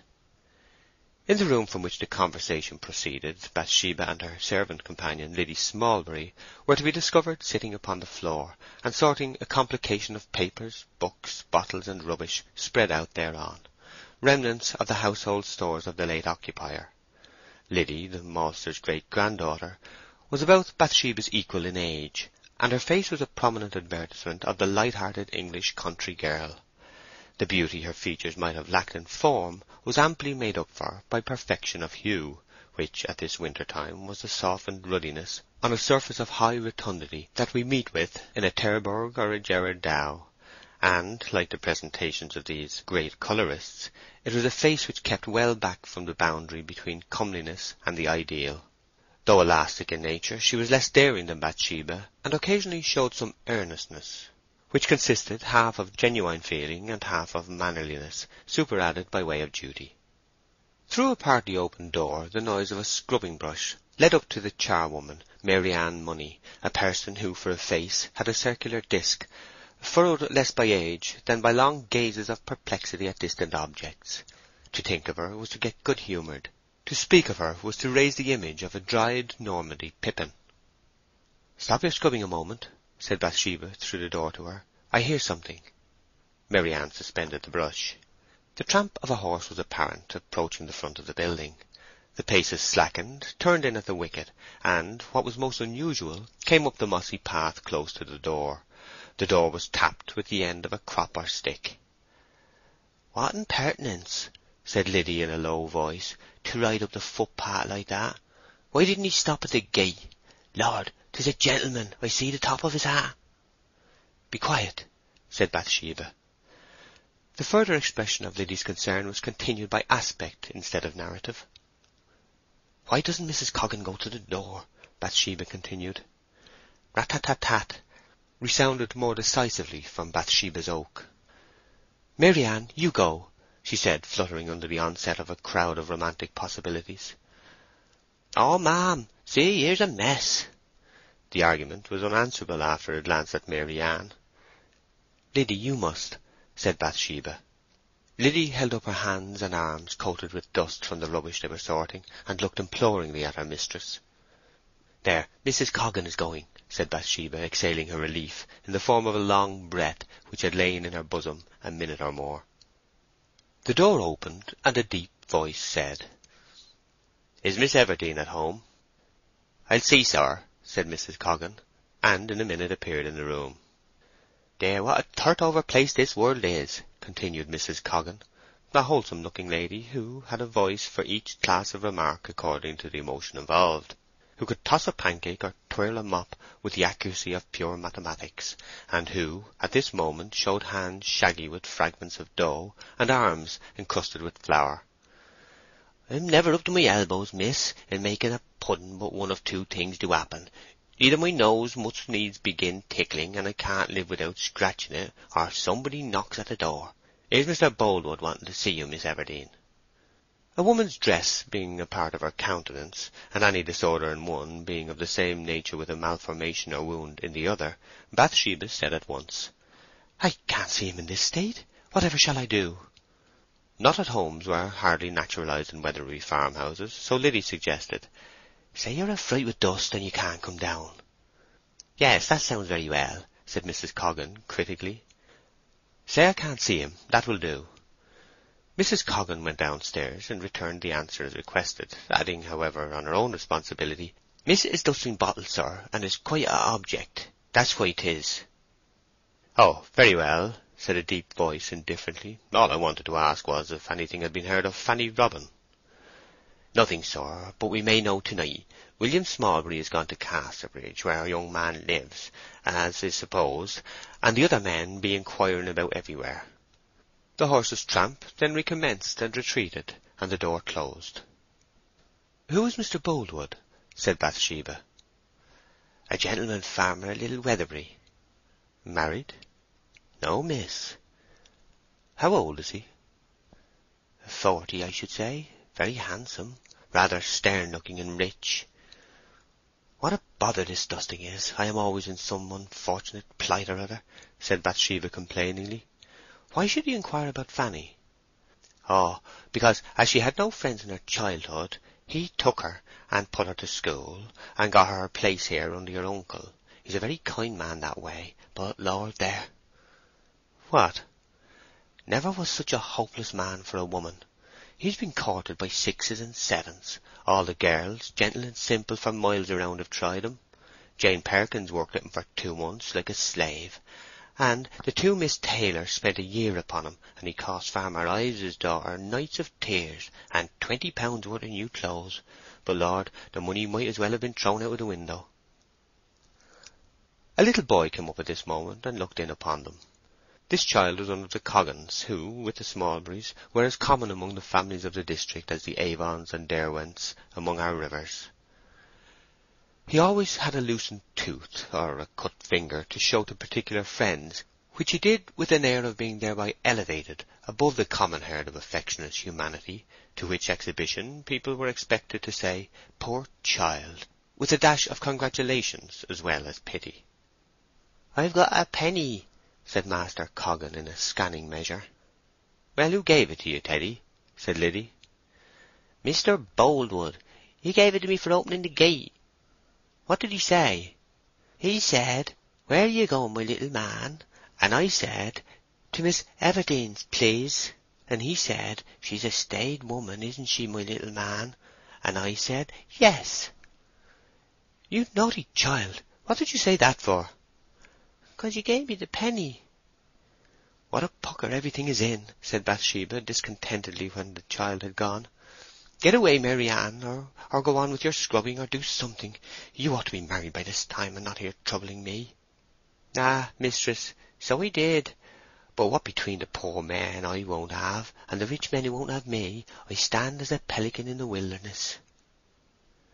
"Did anybody ever want to marry you, miss?" Liddy ventured to ask when they were again alone. "Lots of 'em, I dare say."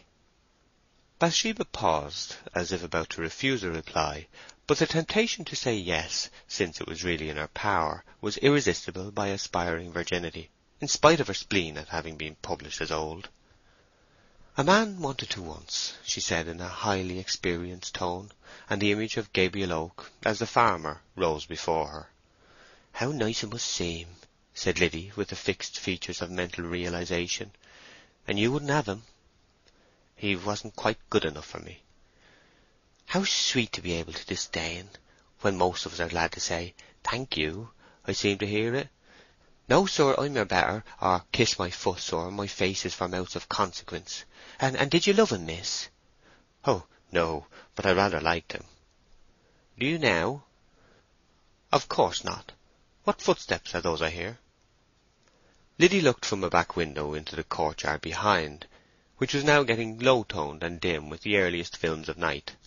A crooked file of men was approaching the back door, the whole string of trailing individuals advanced in the completest balance of intention, like the remarkable creatures known as chained salpæ, which, distinctly organized in other aspects, have one will common to a whole family.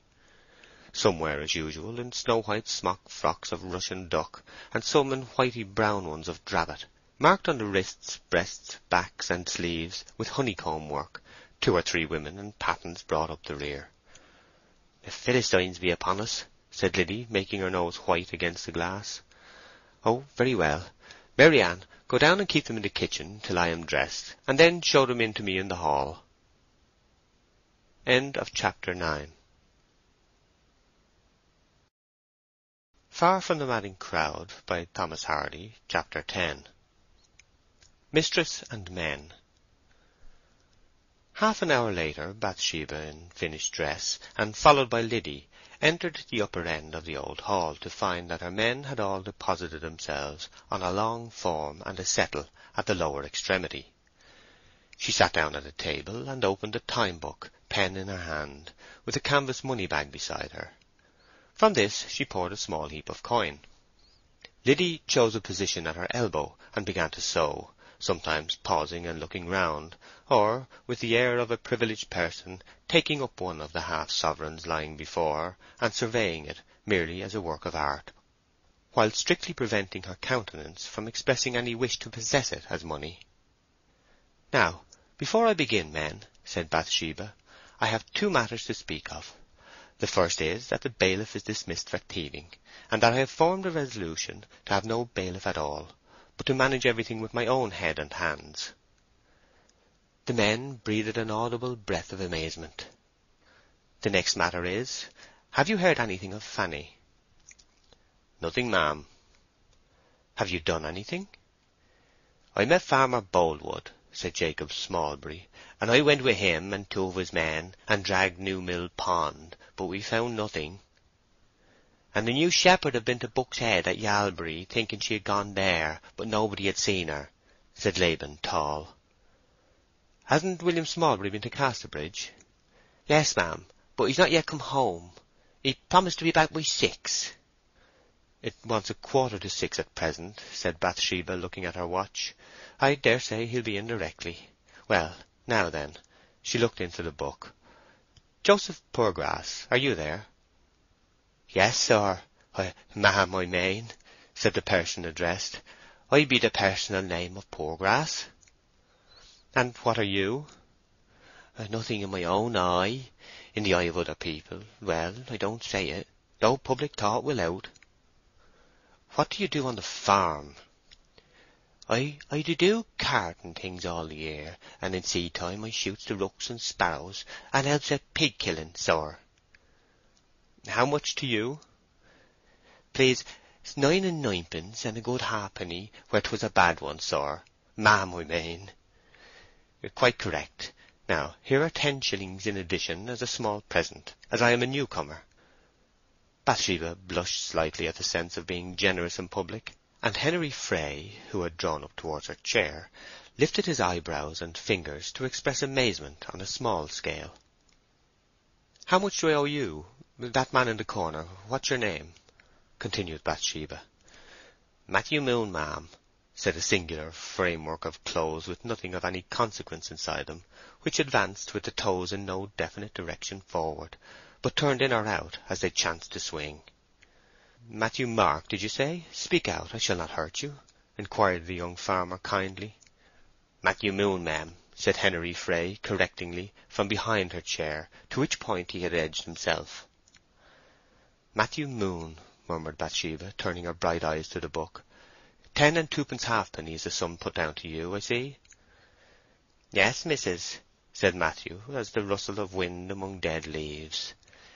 "Here it is, and ten shillings. Now, the next, Andrew Randall. You are a new man, I hear. How came you to leave your last farm?" "P p p "Please, ma'am, please, ma'am, please, please, ma'am." "As a stammering man, ma'am said Henery Fray in an undertone. And they turned him away, because the only time he ever did speak plain, he said his soul was his own, and other iniquities, to the squire. I can cuss, ma'am, as well as you or I, but I can't speak a common speech to save his life. Andrew Randall, here's yours. Finish thanking me in a day or two. Temperance Miller. Oh, here's another. Soberness. Both women, I suppose. "Yes, ma'am, here we be, I believe," was echoed in shrill unison. "And what have you been doing?" "Tending threshing machine and wimbling haybonds, and saying hoosh to the cocks and hens when they go upon your seeds, and planting early Flourballs and Thompson's wonderfuls with a dibble." "Yes, I see. Mm, are they satisfactory women?" she inquired softly of Henery Fray. "Oh, ah, ma'am, don't ask me. Yielding women, as scarlet as pair as ever was," groaned Henery under his breath. "Sit down." "Who, ma'am?" "Sit down." Joseph Poorgrass in the background twitched, and his lips became dry with fear of some terrible consequences, as he saw Bathsheba summarily speaking, and Henery slinking off to a corner. "Now the next. Laban Tall, you'll stay on working for me?" "For you or anybody that pays me well, ma'am replied the young married man. "True, the man must live," said a woman in the back quarter, who had just entered with clicking pattens. "What woman is that?" Bathsheba asked. "I be his lawful wife," continued the voice with greater prominence of manner and tone. This lady called herself five and twenty, looked thirty, mm, passed for thirty-five, and was forty. She was a woman who never, like some newly married, showed conjugal tenderness in public, uh, perhaps because she had none to show. "Oh, you are," said Bathsheba. "Well, Laban, will you stay on?" "Yes, he'll stay, ma'am," said again the shrill tongue of Laban's lawful wife. "Well, he can speak for himself, I suppose?" "Oh, Lord, not he, ma'am. A simple tool. Well enough, but a poor gawkhammer mortal," the wife replied. "He, he, he!" laughed the married man, with a hideous effort of appreciation, for he was as irrepressibly good-humoured under ghastly snubs as a parliamentary candidate on the hustings. The names remaining were called in the same manner. "Now, I think I have done with you, said Bathsheba, closing the book and shaking back a stray twine of hair. Has William Smallbury returned? No, ma'am. The new shepherd will want a man under him, suggested Henery Fray, trying to make himself official again by a sideways approach towards a chair. Oh, he will. Who can he have?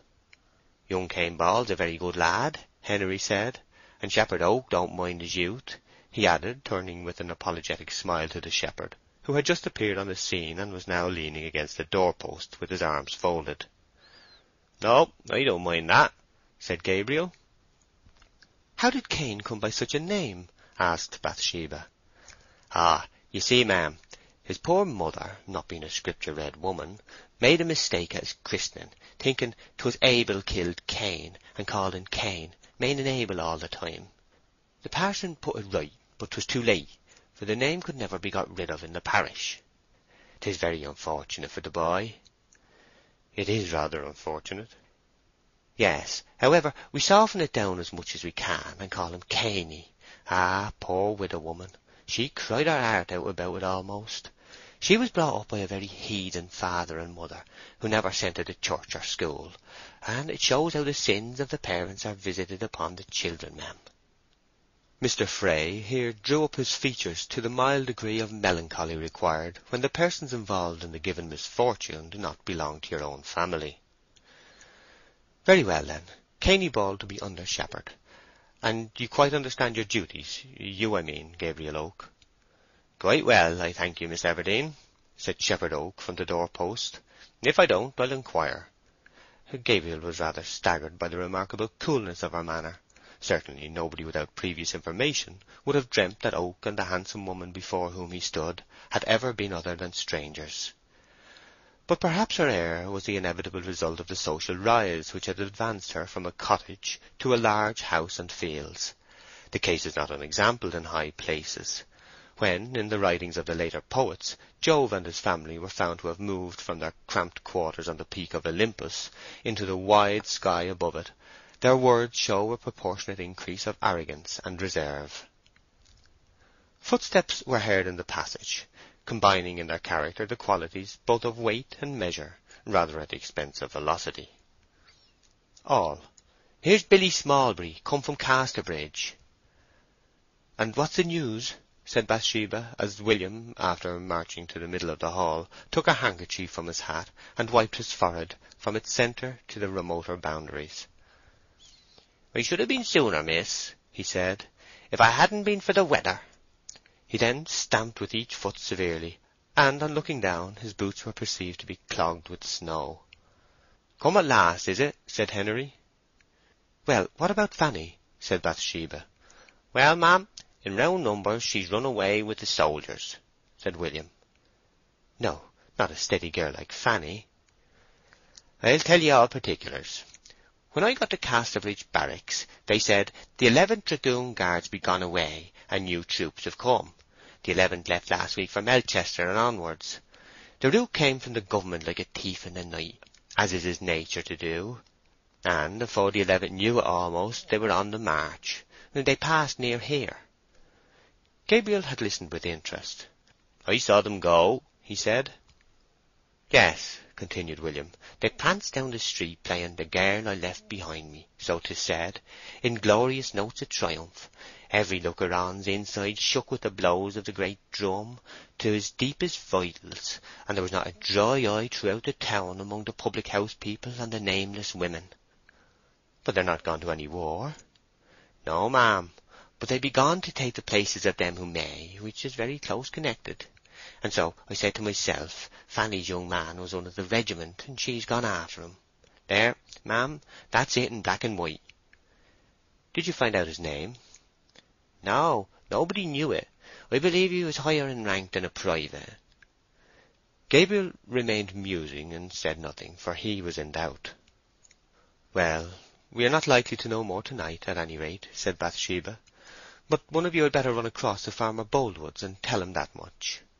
She then rose, but before retiring addressed a few words to them with a pretty dignity, to which her morning dress added a soberness that was hardly to be found in the words themselves. "Now, mind you have a mistress instead of a master. I don't know yet my powers or my talents in farming, but I shall do my best, and if you serve me well, so shall I serve you.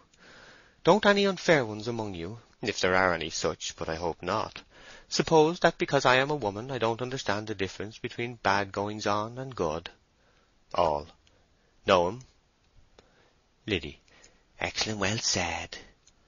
I shall be up before you are awake, I shall be afield before you are up, and I shall have breakfasted before you are afield. In short, I shall astonish you all. All. Yes'm. And so good night. All. Good night, ma'am. Then this small thesmothete stepped from the table and surged out of the hall, her black silk dress licking up a few straws and dragging them along with a scratching noise upon the floor. Liddy, elevating her feelings to the occasion from a sense of grandeur, floated off behind Bathsheba with a milder dignity not entirely free from travesty, and the door was closed. End of chapter 10